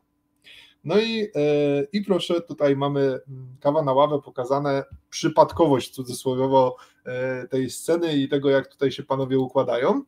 E, kolejna, e, kolejne ujęcie, które daje nam do myślenia w kontekście, czy aby na pewno przypadkowe są e, te sceny poczynione, to jest scena, w której mamy jedyną kobietę tańczącą, przynajmniej tak mi się wydawało, że kobietę w tej chwili mam, zaczyna mieć wątpliwości, w tym układzie. E, jeśli dobrze pamiętam i zdawało mi się, że to jest kobieta, ale w tej chwili rozważam, że to może być w sumie facet z długimi włosami e, na teledysku. Nie przyglądałem się aż tak dokładnie, popełniłem oglądanie tego tylko dwukrotnie, nie wytrzymałem więcej razy. Tak wielkie to było arcydzieło.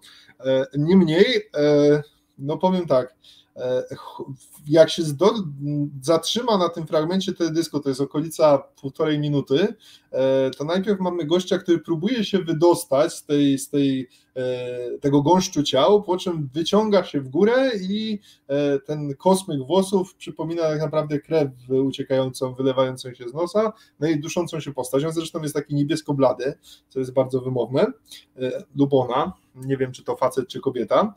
Natomiast co jest bardzo ciekawe i bardzo istotne, to jest to ujęcie. E, ten układ ciał, ten gąszcz ciał i to już jest, moi drodzy, nieprzypadkowy układ. To nie jest tak, że artyści sobie tak po prostu wpadają pewnego dnia na pomysł z dupy na zasadzie a weźmiemy się, powyginamy, potulamy, potarzamy, nagramy to i będzie fajnie wyglądać artystycznie. Nie. E, to konkretne przedstawienie to jest przedstawienie jednego z typów e, męk piekielnych e, i dokładnie jednego z planów, z jednej z kar piekielnych opisywanych dość szeroko, związanych oczywiście z magią, rzucaniem urokami i sprawowaniem, posługiwaniem się czarnymi siłami, który to werdykt czy też wyrok jest skazaniem na egzystowanie jako część kuli ciał. Jest taka charakterystyczna kara opisywana i czasami pojawiająca się w koszmarach, bardzo ciężkich koszmarach, których nikomu nie zazdroszczę, e, w których albo się obserwuje taką kulę, albo wręcz jest się częścią takiej zbitki ciał, które zdają się być tak poplątane, że ludzie próbują się wydostać z tej kuli powiązanych ciał, ale albo nie mogą się uwolnić, co w optymistycznym szczęściu, w optymistycznym założeniu po prostu są tak poplątani, a w praktyce często gęsto ich ciała się zlewają. I to jest kwestia wspólnego cierpienia jako jedno ciało przy równoczesnym rozdzieleniu e, świadomości, czyli tak naprawdę ciała duchowe, sytuacja, w której jedno, e, różne rozliczne ciała duchowe próbujące się uratować i uwolnić są uwięzione w jednym fizycznym, o, fizycznym obiekcie zbitku ciał, które z jednej strony indywidualne, a z drugiej strony są jednostką, która nie jest w stanie się podzielić. To jest specyficznie forma, opisana forma męki, pewna wizja, e, wizja e, senna, bardzo negatywna zresztą, e, nawracająca jako forma koszmarów, dlatego że istoty, byty z niższych planów, które no, miały okazję egzystować na planie, w którym to się dzieje, często lubią pokazywać się i cieszyć się naszymi reakcjami i wysysać energię ze strachu i lęku z, i emocji negatywnych związanych z przeżywaniem tego odczucia, wręcz symulować to odczucie. Także pojawienie się takiego motywu w teledysku, no nie jest przypadkiem. Jest to intencjonalne i w dodatku takie bardzo mocno niepokojące. Zobaczcie, jak te ciała są celowo powyginane w wielu miejscach w nienaturalne strony. Jest nie za bardzo e, e, nie za bardzo przyjemne. E, no pojawia się pytanie, czy nie miało to coś wspólnego z CERNem. I jest to niegłupie skojarzenie, dlatego że była sugestia, że e, krążyła kiedyś taka śmieszna teoria, e, mówię śmieszna, to cudzysłów oczywiście, e, o tym, że źle, w wyniku źle przeprowadzonych eksperymentów e, próba przejścia przez, przez cudzysłów cały czas podkreślamy, rzekomy portal w Cernie miał zaowocować mm, właśnie połączeniem się ciał, co zresztą tam jest ten śmieszny teledysk cernowski, gdzie sobie tańczą rytualnie przed e, zderzaczem hadronów. E, w jednej ze scen jest aluzja do tego, co tutaj Wam pokazałem. E, no nie zmienia to faktu, że wracamy do tego tekstu piosenki i zerkamy sobie, zerkamy sobie co tu zostało powiedziane. Trzy rzeczy, które rzucają, pierwsz, pierwsza rzecz, która rzuca mi się w oczy, to jest wątek lustra. Jestem lustrem bez oprawek. Lustro bez oprawek e, po pierwsze kojarzy nam się e, z tak jakby taflą lustra, e, po drugie lustro portal, lustro przejście, lustro bariera. Przez lustro również można podróżować, a także można wyglądać z lustra, właśnie przechodząc przez plan lustrzany, przez strefę wykorzystywaną dość powszechnie w magii przygotowań, czyli w magii zachodniej, w rytualistyce i okultystyce, no, czarodziejstwie zachodnim. Magia przygotowań, czyli magia, w której przygotowujesz wszystkie składniki zaklęcia oraz elementy wcześniej przygotowane, starasz się zamanifestować, dlatego że stworzyłeś okoliczności pozwalające zaistnienie danych okoliczności w oparciu o wiedzę na temat wymiaru lustrzanego. Jeżeli ktoś tego nie rozumie i nie wie o co chodzi, serdecznie zapraszam. Mam to dobrze omówione e, i jest już na ten temat materiał związany e, w ramach warsztatów dodatkowych dla osób, które chcą szybszego kursu z planów. Ponadto, e, co jest też istotne i co można sobie jako samemu taką podgląd w magię przygotowań ich plan lustrzany, odsyłam do postaci doktora Strange'a w Marvelu, o czym już niedawno wspominałem. Niemniej, odniesienie tutaj, ja jestem odbiciem Twoich lęków, kontekście ja jestem lustrem bez oprawek i jestem odbiciem Twoich lęków, to już jest stawianie się w pozycji dominacji w magii. To jest dosłownie sytuacja, w której patrzysz w lustro i widzisz w nim swoje odbicie, ale to odbicie to nie jesteś ty, lub coś obcego jest w lustrze. I w dodatku wzbudza w tobie lęk, wywołuje u ciebie dyskomfort, zaczyna być dla ciebie zagrożenie. To jest odniesienie do konkretnej sytuacji, która zarówno zdarzyć się może nam w normalnych okolicznościach, ale zdarza się już bardzo często, kiedy ktoś para się magią lub jest atakowany magią. E, no i to jest pierwsza, pierwszy wątek, który wybitnie nie pasuje tu do reszty tekstu, chyba że uwzględnimy dwa wątki. Jeden wątek to oczywiście czarostwo i wiedźmostwo głównej bohaterki, w tym wokalistki, a drugi wątek, który jest dużo istotniejszy ciekawszy, lustro, tafla lustra oraz kolor, e, kolor tak jakby tafli lustra, rozpuszczonego lustra, kojarzy się często z taką jakby płynnym metalem, płynną cieczą. E, w lustro w formie cieczy, przedstawiane w filmach, wygląda jak, jak, jak się rozpuści lustro, jak coś bardzo metalicznego. Coś śmieszne, dlatego że w praktyce, w rzeczywistości, jak się widziało kiedyś obróbkę lustra i, e, przepraszam, obróbkę wyrabiania szkła, to to nie, w ogóle nie przypomina jedno drugiego.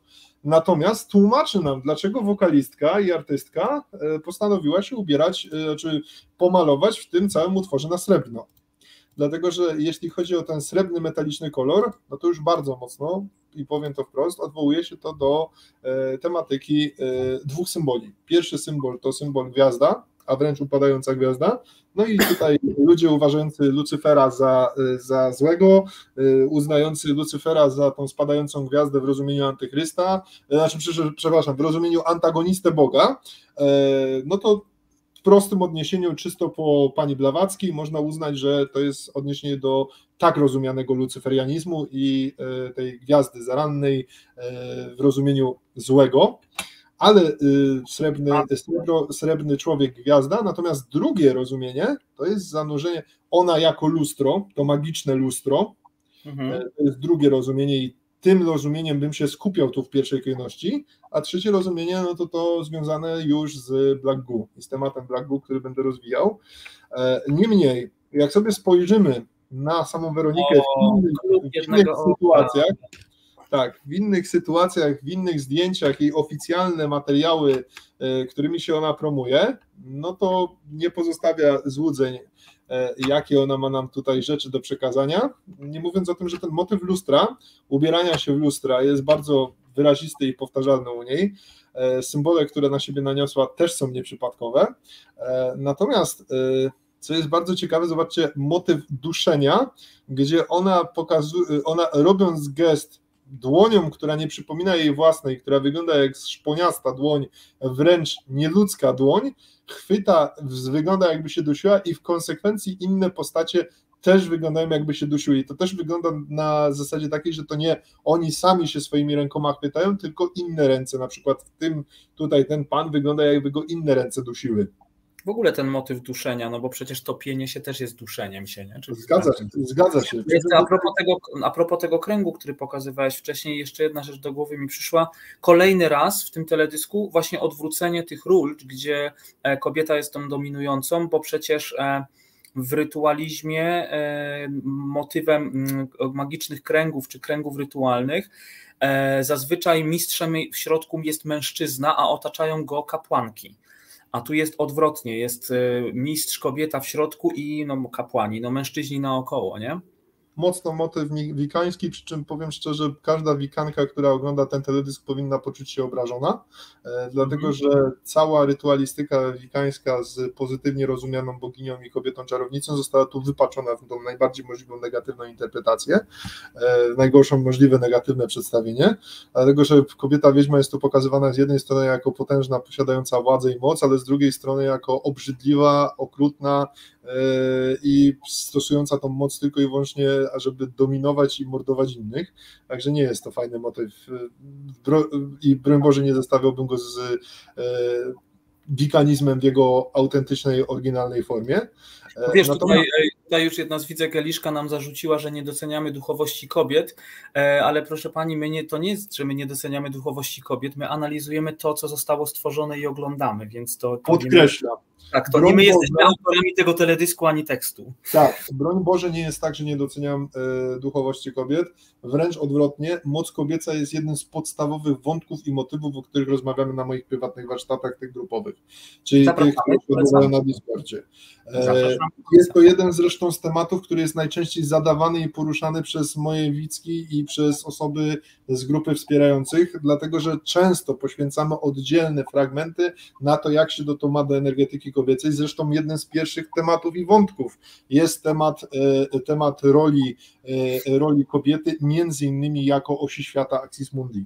Mhm. Także to nie jest tak, że nie doceniamy tej estetyki, co tutaj pokazujemy że jest ona tu kompletnie wypaczona, bo czym innym jest czarna magia i e, te obrzydlistwo, które jest pokazywane w ramach tego teledysku, a czym innym jest magia kobieca, co do której mam pozytywny stosunek, do której się odnoszę wprost z pozytywnym sentymentem, bo przykładowo jak myślę o wikanizmie, to myślę o pozytywnych ruchach, odrodzenia mocy kobiecej i, y, i generalnie magii, mimo tego, że wikanizm to jest to ogólno pojęte czarostwo i tak dalej, y, nowy ruch religijny, tak to, tak to się określa formalnie, y, choć nie aż taki nowy, bo w zależności od datowania 1850 roku mniej więcej sięgający, nie zmienia to faktu, że w tym teledysku nie ma przedstawionego pozytywnego wydźwięku tej e, energii kobiecej i wykorzystania energii kobiecej. Tutaj jest ona antagonizowana z mężczyzną celowo. Oczywiście mhm. dominacja kobiecej energii nad mężczyzny jest tutaj pokazana, tylko ona jest tu pokazana instrumentalnie jako narzędzie do czegoś. Tak.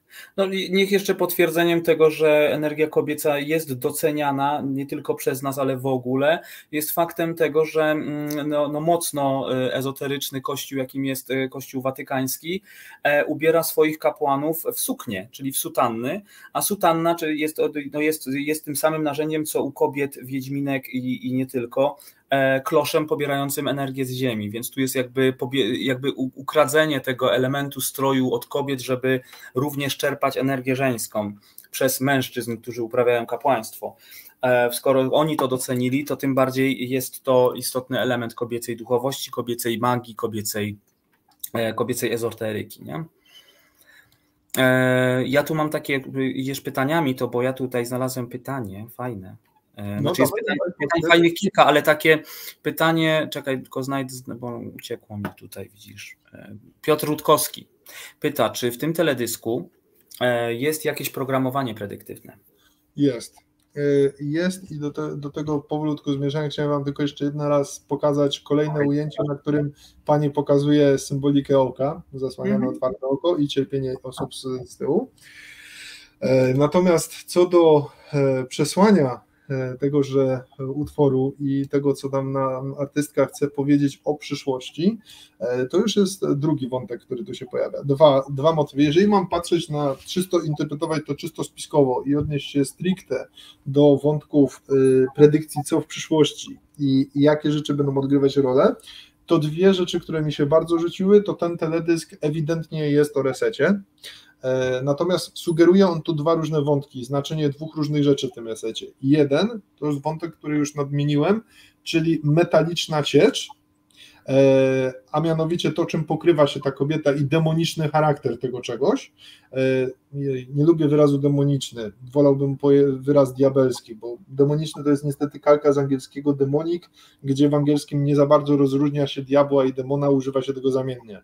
A mhm. od strony formalnej, technicznej jest to nawyk, mówi się demoniczny, natomiast technicznie powinienem powiedzieć diabelski, bo to są jednak dwie różne rzeczy. I no w Polsce też zaczyna używać się tego zamiennie diabeł i demon.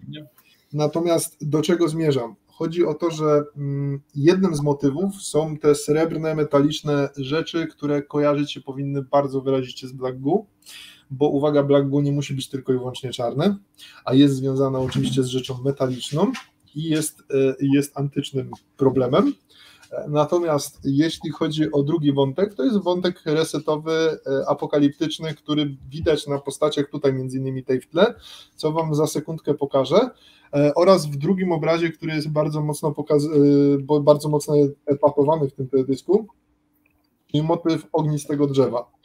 Tym zdjęciem ten teledysk jest promowany. Biała kobieta ubrana w biel, E, znowu ta sama blondynka w bieli, czyli skojarzenie z petcoatem, e, które odnosiłeś do Towera. Dwa, mamy drzewo rozgałęzione i to jest, to jest charakterystyczne, dlatego że to drzewo rozgałęzione e, może pełnić kilka funkcji. Pierwsza funkcja, oczywiście aluzja do gorącego krzewu, objawienia kontaktu z bytem, który się w drzewie manifestuje, w krzewie. I podkreślam, Wszyscy wiedzą, że chodzi oczywiście tutaj o starotestamentowego Jahwe, e, natomiast e, czy JHWH, jak to woli, natomiast no, powiedzmy sobie uczciwie, e, ja go nie utożsamiam i to mówię jawno, jasno i klarownie, ze względu na swoje, swój kontakt z Pismem Nowego Testamentu, ja go nie utożsamiam z Bogiem, rozumianym tym Bogiem od Jezusa czyli tym ojcem Jezusa, który jest z Jezusem powiązany. To dla mnie są dwie różne postacie. E, natomiast jest to rzeczywiście kontakt z istotą o charakterze czy pozycjonującą się w boskiej pozycji. To jest pierwsze skojarzenie. Drugie skojarzenie to jest, i tutaj akurat to zdjęcie dość mocno pokazuje, rozgałęziona różdżka wykorzystywana w rytuałach druidzkich, wikańskich, generalnie rzecz biorąc w magii o, o korzeniach naturalistycznych. I teraz, tak jak mówiłem, o wice mam dobre zdanie, tak tutaj wykorzystany znowu zostaje instrumentalnie atrybut utensylium, czyli instrument z tej rytualistyki do pokazania czegoś konkretnego o odwróconej symbolice, odwróconym znaczeniu. Czyli mamy tutaj sugestię używania kojarzenia mocy, ożywienia mocy, drewno i teraz trzeci wątek to oczywiście sponiewieranie, spalenie tego, co żywe, przemienianie strefy w strefę e, już nieżywą, martwą, czyli spalenie drzewa i zobaczcie, że otoczenie pustynią, efekt jest taki, że z jednej strony kojarzy się z krzewem gorejącym, z drugiej strony kojarzy się z tym, że no popłonęły drzewa, już tam zostały same kikuty, ona jest na pustkowiach, także niezbyt optymistyczny scenariusz, i teraz dochodzimy do tego, jak to w teledysku jest pokazywane, bo to ujęcie to nie jest z teledysku, tylko jest ujęcie promujące teledysk. Natomiast w samym teledysku jest bardzo wyraźnie pokazywana ta pozycja. I jak spojrzy się na to ujęcie, to już mamy zupełnie co innego pokazanego. Po pierwsze, e, to co się rzuca w oczy, w pierwszej kolejności, to pozycja, gdzie te gałęzi wychodzą z y, pleców tej postaci, którą powinna być kobieta podkreślam, powinna być kobieta. Czyli zakładając, że jest to kobieta, to mamy sugestię, jakoby z jej pleców wychodziły dwie gałęzie lub dwa płonące skrzydła. Bardzo charakterystyczna symbolika. Druga kwestia, która dopiero teraz rzuciła mi się w oczy, jak zacząłem patrzeć na to zdjęcie tego screenshota, to zobaczcie sobie, co się tu pojawia. Tu w środeczku pomiędzy skrzydłami. Aha, aha, aha. Co y, no, powiem tak. Oczywiście możemy założyć, że nasz umysł ma zdolność doszukiwania się twarzy tam, gdzie ich nie ma, bo mamy taką tendencję i tak dalej. Okej, okay, przyjmijmy, że to jest zbieg okoliczności, że pojawia się tutaj coś, co przypomina twarz pomiędzy tymi płonącymi skrzydłami nad postacią, ale teraz zobaczcie sobie, czy ta postać, poza oczywiście ręką i nie wiem, czy to jeszcze jest noga, e, opartą o ziemię, czy ona wam przypomina postać ludzką w szczególności ten zamęt, który się dzieje wokół włosów. to hmm. moim zdaniem to, co jest najbardziej okulty, okultystyczne i najbardziej uderzające w tym teledysku, to jest właśnie ta scena. Pomijając oczywiście krąg magiczny, y, te sceny składania ofiar z ludzi, w szczególności składanie, topienie mężczyzn jako e, narzędzi ofiarnych do przebudzenia wewnętrznej mocy kobiety. I teraz ja wiem, że Eliszka nie miała złej, y, złej myśli i nie, było, nie robiła nam negatywnego zarzutu, może jakąś drobną uwagę, natomiast jeżeli, wydaje mi się, że w tej chwili klarownym, jasnym się dzieje i staje to, dlaczego powiedziałem, że nie ma tutaj ani odrobiny pozytywnego przedstawienia przebudzenia kobiecej mocy. Bo jeżeli uznamy, że tym przebudzeniem kobiecej mocy, odbudową matriarchalizmu i odbudową mocy, mocy żeńskiej, wewnętrza żeńskiego, która moim zdaniem nigdy nie została wygaszona i zabita, i to jest bzdura ładowana do głowy ludziom po to, żeby budować kolejny antagonizm. Natomiast jeżeli przyjmiemy, że to odrodzenie mocy ma się odbywać w postaci tego, że morduje się i składa się w ofierze masowo mężczyzn, żeby przebudziła się jedna kobieta, którą wypełnią moce z zewnątrz, a nie z niej środka, to ja dziękuję za takie przebudzenie mocy. Uważam, że to kompletnie nie jest teledysk o odradzaniu się kobiecego elementu. Mhm. Natomiast to, co jeszcze widać w e, kolejnych ujęciach z e, płomieni, to jest ta scena. I ta scena już bardzo wyraziście odnosi się nie tyle do krzewu gorącego, co do wydarzeń, które się mają zdarzyć w nieodległej przyszłości. Czyli stricte jest odniesienie i epatowanie motywem płonącej ziemi, chodzenia pośród popiołów zaraz po jakiejś kataklizmie. Zobaczcie, nie mamy słońca, mamy ciemne niebo, mamy jakieś płonienie, więc mamy sugestie albo płonące miasta, albo płonące generalnie wszystko. Postać, e, postać pochłaniana z jednej strony ciemnością, z drugiej strony oświetlana tymi płomieniami. Wszędzie wokół mamy pył, popiół i te jaskrze, e, jarzące się ogniki. A teraz na udowodnienie mojej tezy, którą tu postawiłem, że to jest sugestia czegoś, co się upadło i zaczęło palić i pali, trawi wszystko dookoła, mamy przedstawienie, wybaczcie, idę na skróty, nie chce mi się w tej chwili jeszcze raz otwierać tego wszystkiego na, na nowo, no dobra, jednak otworzę, to mamy z, z panami, mianowicie e, panowie, którzy występują jako kółeczko rytualne, na niektórych ujęciach, i to nie wiem, czy mam akurat screena, natomiast wy sobie możecie w teledysku sami zobaczyć, że część z tych panów jest pokryta czymś, co przypomina piasek, no to zresztą nawet tutaj widać, że na nich jest piasek, o zobaczcie, tutaj tym miejscu, w tym, ale zazwyczaj o tutaj na twarzy. E, generalnie jak ja się, na początku, ja się na początku zastanawiałem, czy to jest szron od zimnej wody lub lód, czy piasek. No ciekawa no rzecz. Właśnie. Sam się nad tym zastanawiałem przez jakąś krótką chwilę, bardzo szybko uznałem, znaczy mój mózg od razu podpowiedział mi, że to jest symbolika e, osoby wychodzącej z popiołów. I ten motyw popiołów pojawia się wielokrotnie. Zobaczcie, postać ma na sobie coś, co wygląda jak poparzenia, albo popioły, albo spalona skóra. I nie jedna, druga postać to samo, trzecia postać to samo. Każda jedna postać, jak zobaczycie tych mężczyzn na początku tego teledysku, jeśli się poświęcicie i sobie obejrzycie, to zobaczycie, że większość z tych postaci jest po prostu w popiołach. To nawet widać tutaj na tym mężczyźnie znowu, widzicie? Mamy tu popioły, tu mamy zrobione popioły, nawet ta kobieta, bo jednak jest tu jakaś kobieta, jest w popiołach. Tu mężczyzna ma popioły na dłoni y, i twarz niejako naciera też popiołami. E, ten element z popiołami pojawia się w tym teledysku kilkukrotnie. Jeżeli miałbym, o tutaj bardzo wyraźnie widać na czole tego mężczyzny popioły. E, ten motyw popiołów jest, jest zestawieniem, że najpierw mamy ognie i popioły i e, scena jest odwrócenie kolejności wydarzeń w, w teledysku i scen w teledysku w stosunku do wydarzeń predykcyjnych. Mianowicie mamy źródło ognia, coś upada, coś pali, trawi wszystko, w konsekwencji czego dziewczyna później się znajduje na pustyni, pustkowiu, które, e, na którym nic nie istnieje poza płonącymi drzewami, a następnie spotyka przy pierwszym miejscu, które przypomina źródło wody, spotyka e, męskie postacie, które są wszystkie spopielone w przeciwieństwie do niej ona sama nie jest spopielona, a cała reszta istot jest spopielona i wszyscy się duszą i mają problem z oddychaniem, są duszeni, nie ma czym oddychać. Także jeżeli chodzi o czystą predykcję resetową, no to mamy tu wszystkie motywy. Mamy płonąc coś, co spadło, z, coś, co spowodowało płomienie, domyślnie coś, co spadło z nieba, ja bym tak zakładał. Dwa, e, mamy motyw wody w rozumieniu topienia się powszechnego czytaj spada z nieba, uderza gdzieś, na przykład w wodę, wzbija tsunami, zalewa nas wszystkich, albo jakąś tam część i oni się topią i nie mogą z tym nic zrobić, a szukają ratunku, a ci, co przeżyli, mają taką sytuację, że są wszyscy pokryci, spopieleni, a i tak nie mają czym oddychać, świat jest sponiewierany i nie ma tam za bardzo czego szukać. Także pod względem resetowym ten teledysk ma bardzo, wy, bardzo wymowny wydźwięk. Sugeruje on nadchodzący kataklizm, który jest dość mocno pokazywany. Najśmieszniejsze, że sceny te e, z płonącymi, z płonącym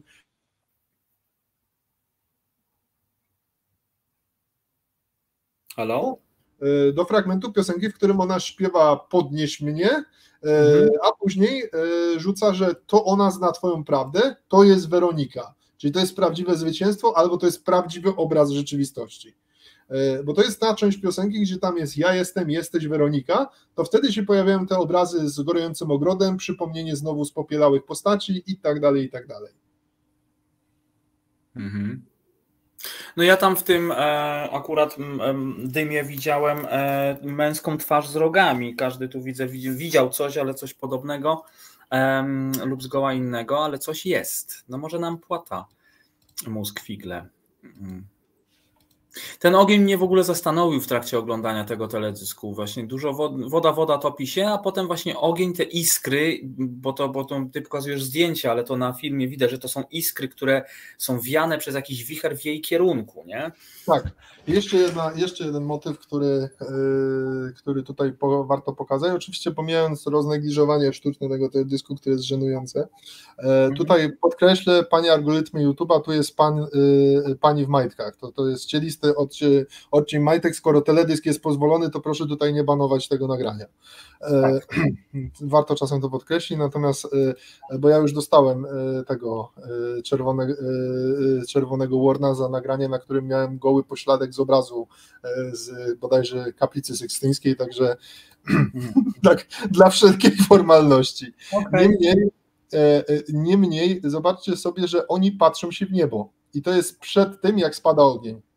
Dlatego, dlatego odnoszę się do tego, że spodziewam się tego czegoś, co spadnie z góry.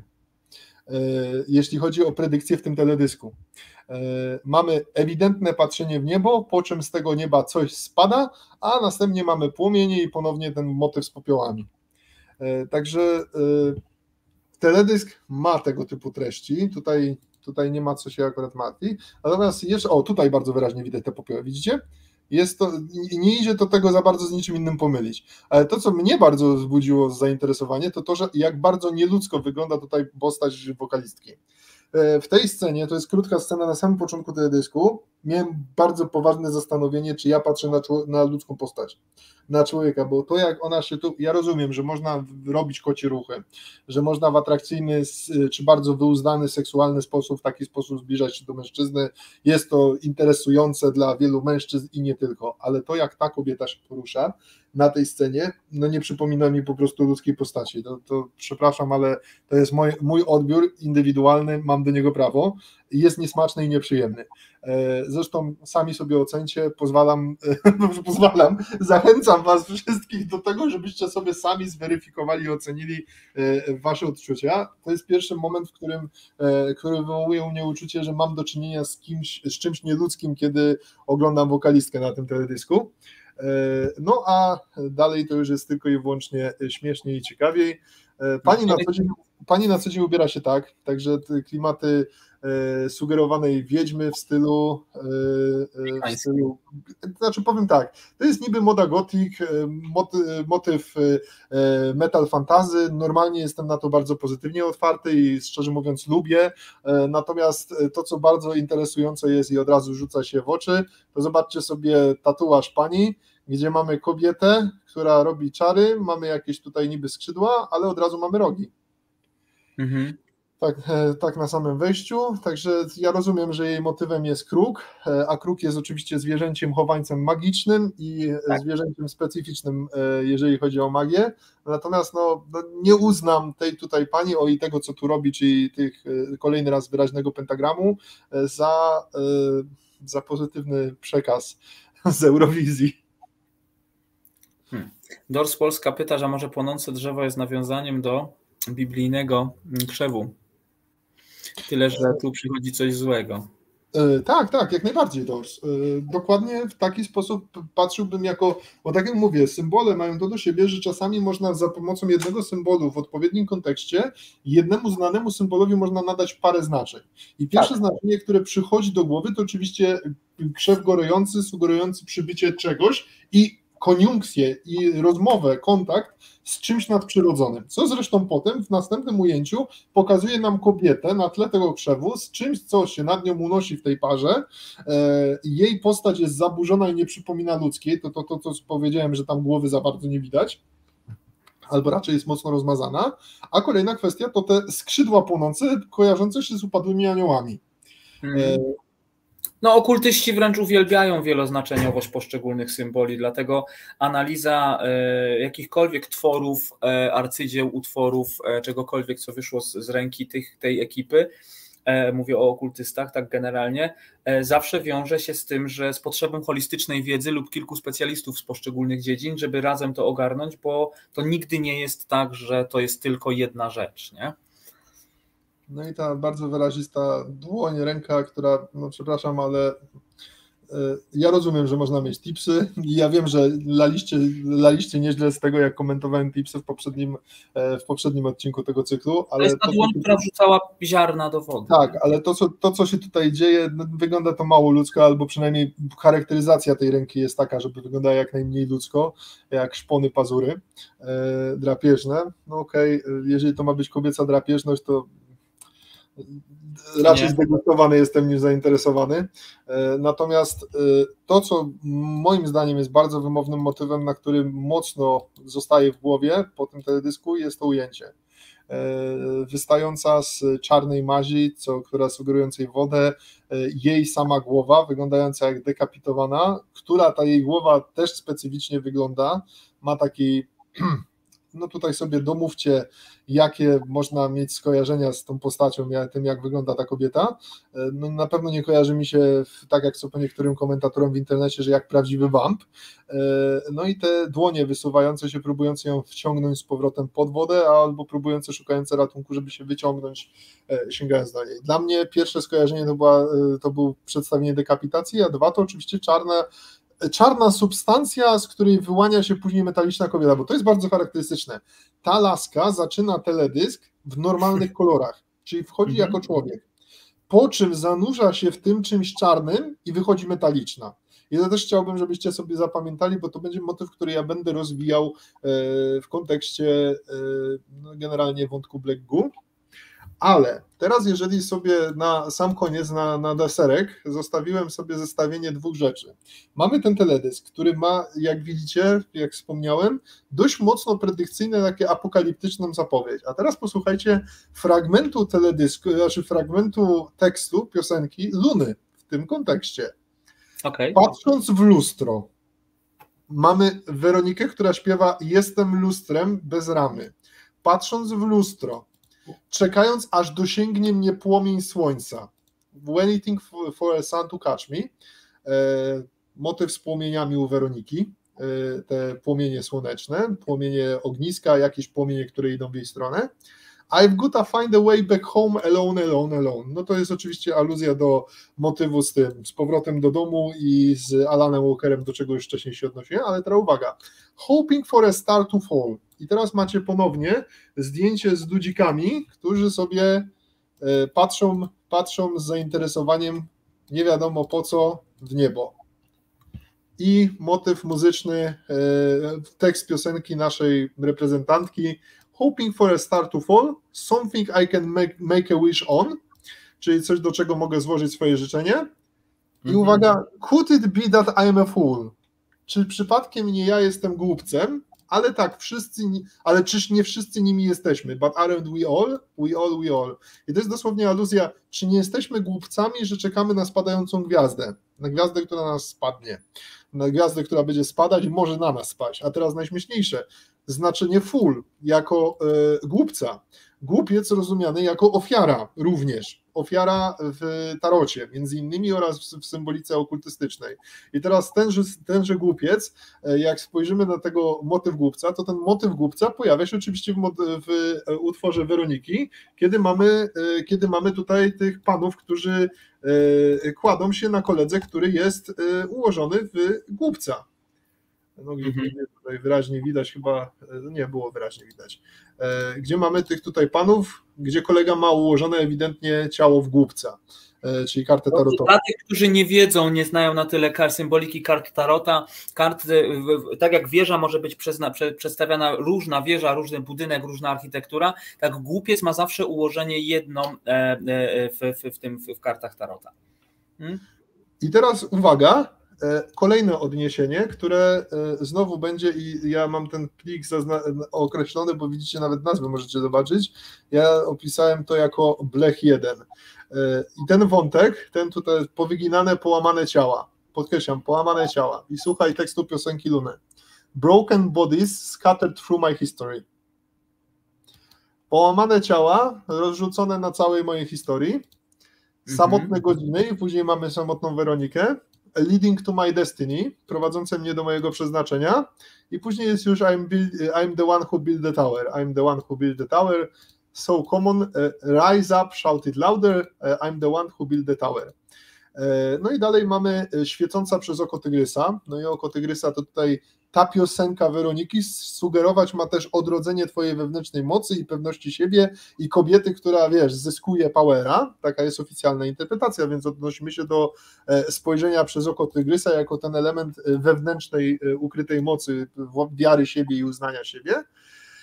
Only I can find my future, reading in between the lines, czyli mogę tylko, tylko ja mogę odnaleźć, odkryć moją prawdę, moją przyszłość, szukając pomiędzy słowami, pomiędzy liniami, które sama narysowałam.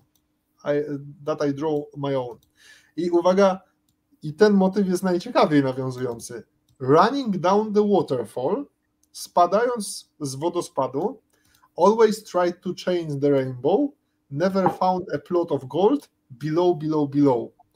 Aha. I teraz, jak patrzymy na teledysk Weroniki, to mamy spadanie i zagłębianie się w wodę i pierwsze zdanie jest dosłownie ukryłem się w rzece i y, ukryłam się w rzece i weszłam w cichą noc.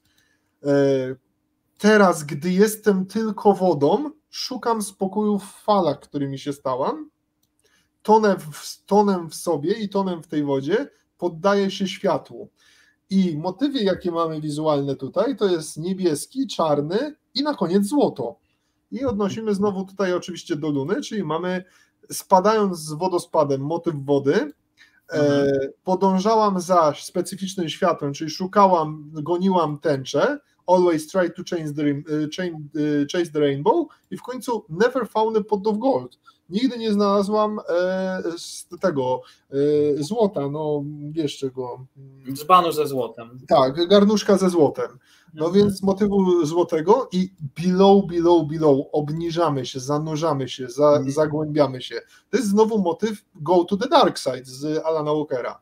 Także jeśli chodzi o motywy predykcyjne, czego się tutaj spodziewać, jak dla mnie to jest cały czas ta sama symbolika, ta sama tematyka. Jeżeli ujmiemy te utwory łącznie, a nie oddzielnie, no to zasadniczo one do siebie nawiązują i to dość mocno. Mhm. Ciekawe, czy to będzie takie ułożenie, że jak będziemy teraz, ja sobie spiszę na kartce, jak już dojdzie do tego e, finału i będą puszczane. Ciekawe, czy Słowenia będzie po Polsce. To by był numer, nie? By się układało wtedy w jedną historię. Zobaczymy po, po, kolejne teledyski, które będziemy analizować. Myślę, że jeszcze w tym tygodniu zrobimy audycję u mnie chyba, nie? Piątek lub sobota i wrzucimy na mhm. tapetę którąś z kolejnych kontrowersyjnych rzeczy. Może być Holandia, może być Finlandia, może być Podpowiada, podpowiadamy Wam, gdzie w teledyskach jest co oglądać. O tak. No. no. Myślę, że będziemy w tym miejscu kończyć. Co prawda, mam takie uczucie, że czegoś, coś mi uciekło z tych pierwszych czterech zdań. Ukryłem się w rzece, wszedłem w cichą noc, głośnymi krokami i cichym wołaniem o pomoc. W, słoweński, w słoweńskim tekście jest odeszłam cichą noc. Nie wiem, czy to ma. Odeszłam w cichą noc to zmienia znaczenie. To zmienia, zmienia znaczenie. To jest wybór, decyzja. Przejście na cicha noc, noc, e, przejście na ciemną stronę.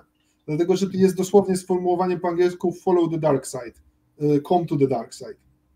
I teraz samo odejście w cichą noc może mieć znaczenie rytualne w takim sensie, że wchodzisz w noc, w noc rytuału, bo noc, w, nocach, noc, w trakcie nocy popełnia się rytuały, pełni się rytuały, zwłaszcza rytua, rytuały lunarne, znowu luna. E, wszystkie odbywają się praktycznie tylko i wyłącznie nocą w lesie w trakcie nocy. Zaczyna się noc, mieszkanie, wychodzi księżyc i do księżyca się podejmuje rytuały o charakterze łowieckim, lunarne zawsze.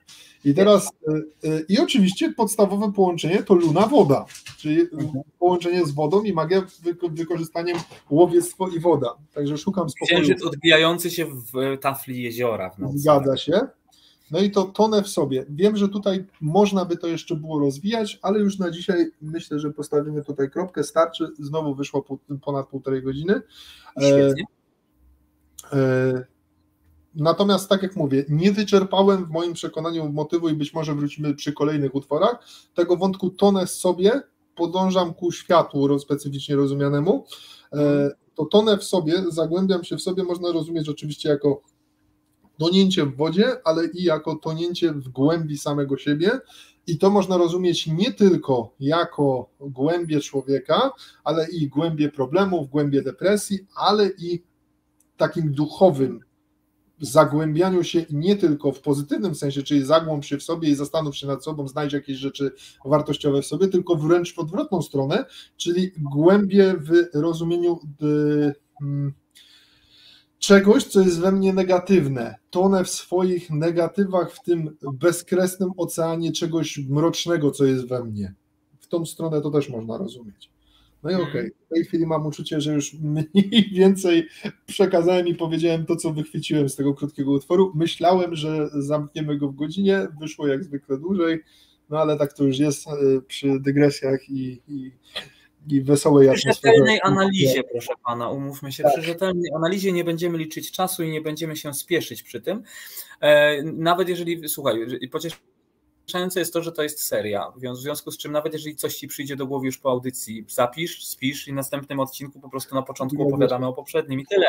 Zawsze jest szansa jeszcze dopowiedzieć te parę słów, ale myślę, że na ten moment zostawmy już widzów e, z ich myślami na temat tego, co usłyszeli od nas. I tak mają o czym myśleć. I zapraszamy Was do e, dzielenia się Waszymi przemyśleniami w komentarzach, bo aktywność w komentarzach daje nam znowu bazę do tego, że a, może coś przeoczyliśmy, o, tutaj jest ciekawa interpretacja, warto to dodać, warto to rozpatrzeć z tego punktu widzenia. I jak coś tam dodajecie od siebie, to nam jest później jeszcze łatwiej spojrzeć przekrojowo na kilka teledysków i zauważyć, tak, kurczę, faktycznie jest tu wspólny motyw węża. Ja tutaj celowo podkreślam, ja celowo nie odnoszę się do gadów i do węży w tych teledyskach, bo ja widzę tą symbolikę wężową, gadzią i nie tylko. Mm. Natomiast uważam, że lepiej ująć ją grupowo, podsumowując ogólnie, niż odnosić się za każdym razem do węża, dlatego że uważam, i mówię to Wam wprost i wiem, że na pewno będę na kanale prędzej czy później umiejscawiał o tym materiały, że symbolika wężowa jest bardzo błędnie przedstawiana w internecie. W rozumieniu jest zawsze utożsamiana z gadami w dźwięku negatywnym a wąż w symbolice religijnej i w symbolice ogólnie znanej powszechnie jako antropologiczna symbolika węża ma kompletnie inne znaczenie niż współcześnie. Internet dominuje łączenie y, węża z gadami, z y, gadami w rozumieniu negatywnymi istotami, czy jak to woli żartobliwie reptilianami, ale w praktyce węże mają symbolikę podtrzymywania życia, nieśmiertelności, e, podtrzymywania więzów, energii, e, odrodzenia, reinkarnacji, rekonstrukcji. Krótko mówiąc, e, nie mówiąc o tym, że to są zazwyczaj istoty związane z kultem, z kultami łowieckimi. I o tym będę musiał opowiadać Wam szerzej przy innej okazji. Okej. Okay. No, to pozostaje nam się grzecznie pożegnać i udać w nasz, w otchłań przemyśleń. O. A, ja, a ja już uciekam i oddalam się, bo spóźniony jestem na e, warsztaty grupowe, które się dzisiaj odbywają e, na mojej grupie Discordowej. Także do usłyszenia, do zobaczenia. Dziękuję Wam wszystkim za uwagę, e, za uczestnictwo. Mam nadzieję, że temat Wam sprawił trochę frajdy i zabawy. No i co? Dobranoc. A kolejna audycja będzie na moim kanale Jakubowski76 i proszę na tym kanale sprawdzać kiedy, bo nie wiem jeszcze czy piątek czy sobota, zapowiedzi tam przyjdą, zwłaszcza jeśli macie subskrypcję. Zgadza się. Także Do widzimy się następny raz u Ciebie, Michaelu. E, tak. Dla osób, które jeszcze nie wiedzą, czy, ma, czy jeszcze ode mnie nie dotarły do Michaela, to w zakładce posty jest pierwszy post, teraz najświeższy przeze mnie wrzucony, gdzie macie e, załączone linki. Michael jest wpisany jako pierwszy, jako e, osoba, z którą współpracuję, więc bez problemu znajdziecie. A druga opcja, to po prostu wpisaj w wyszukiwarkę Jakubowski76 i też znajdziecie. Tak. Dziękuję bardzo. Tatusia woła synuś, słyszę? To idziemy. Jego wieczoru, do zobaczenia, do usłyszenia. Dzięki, Demon.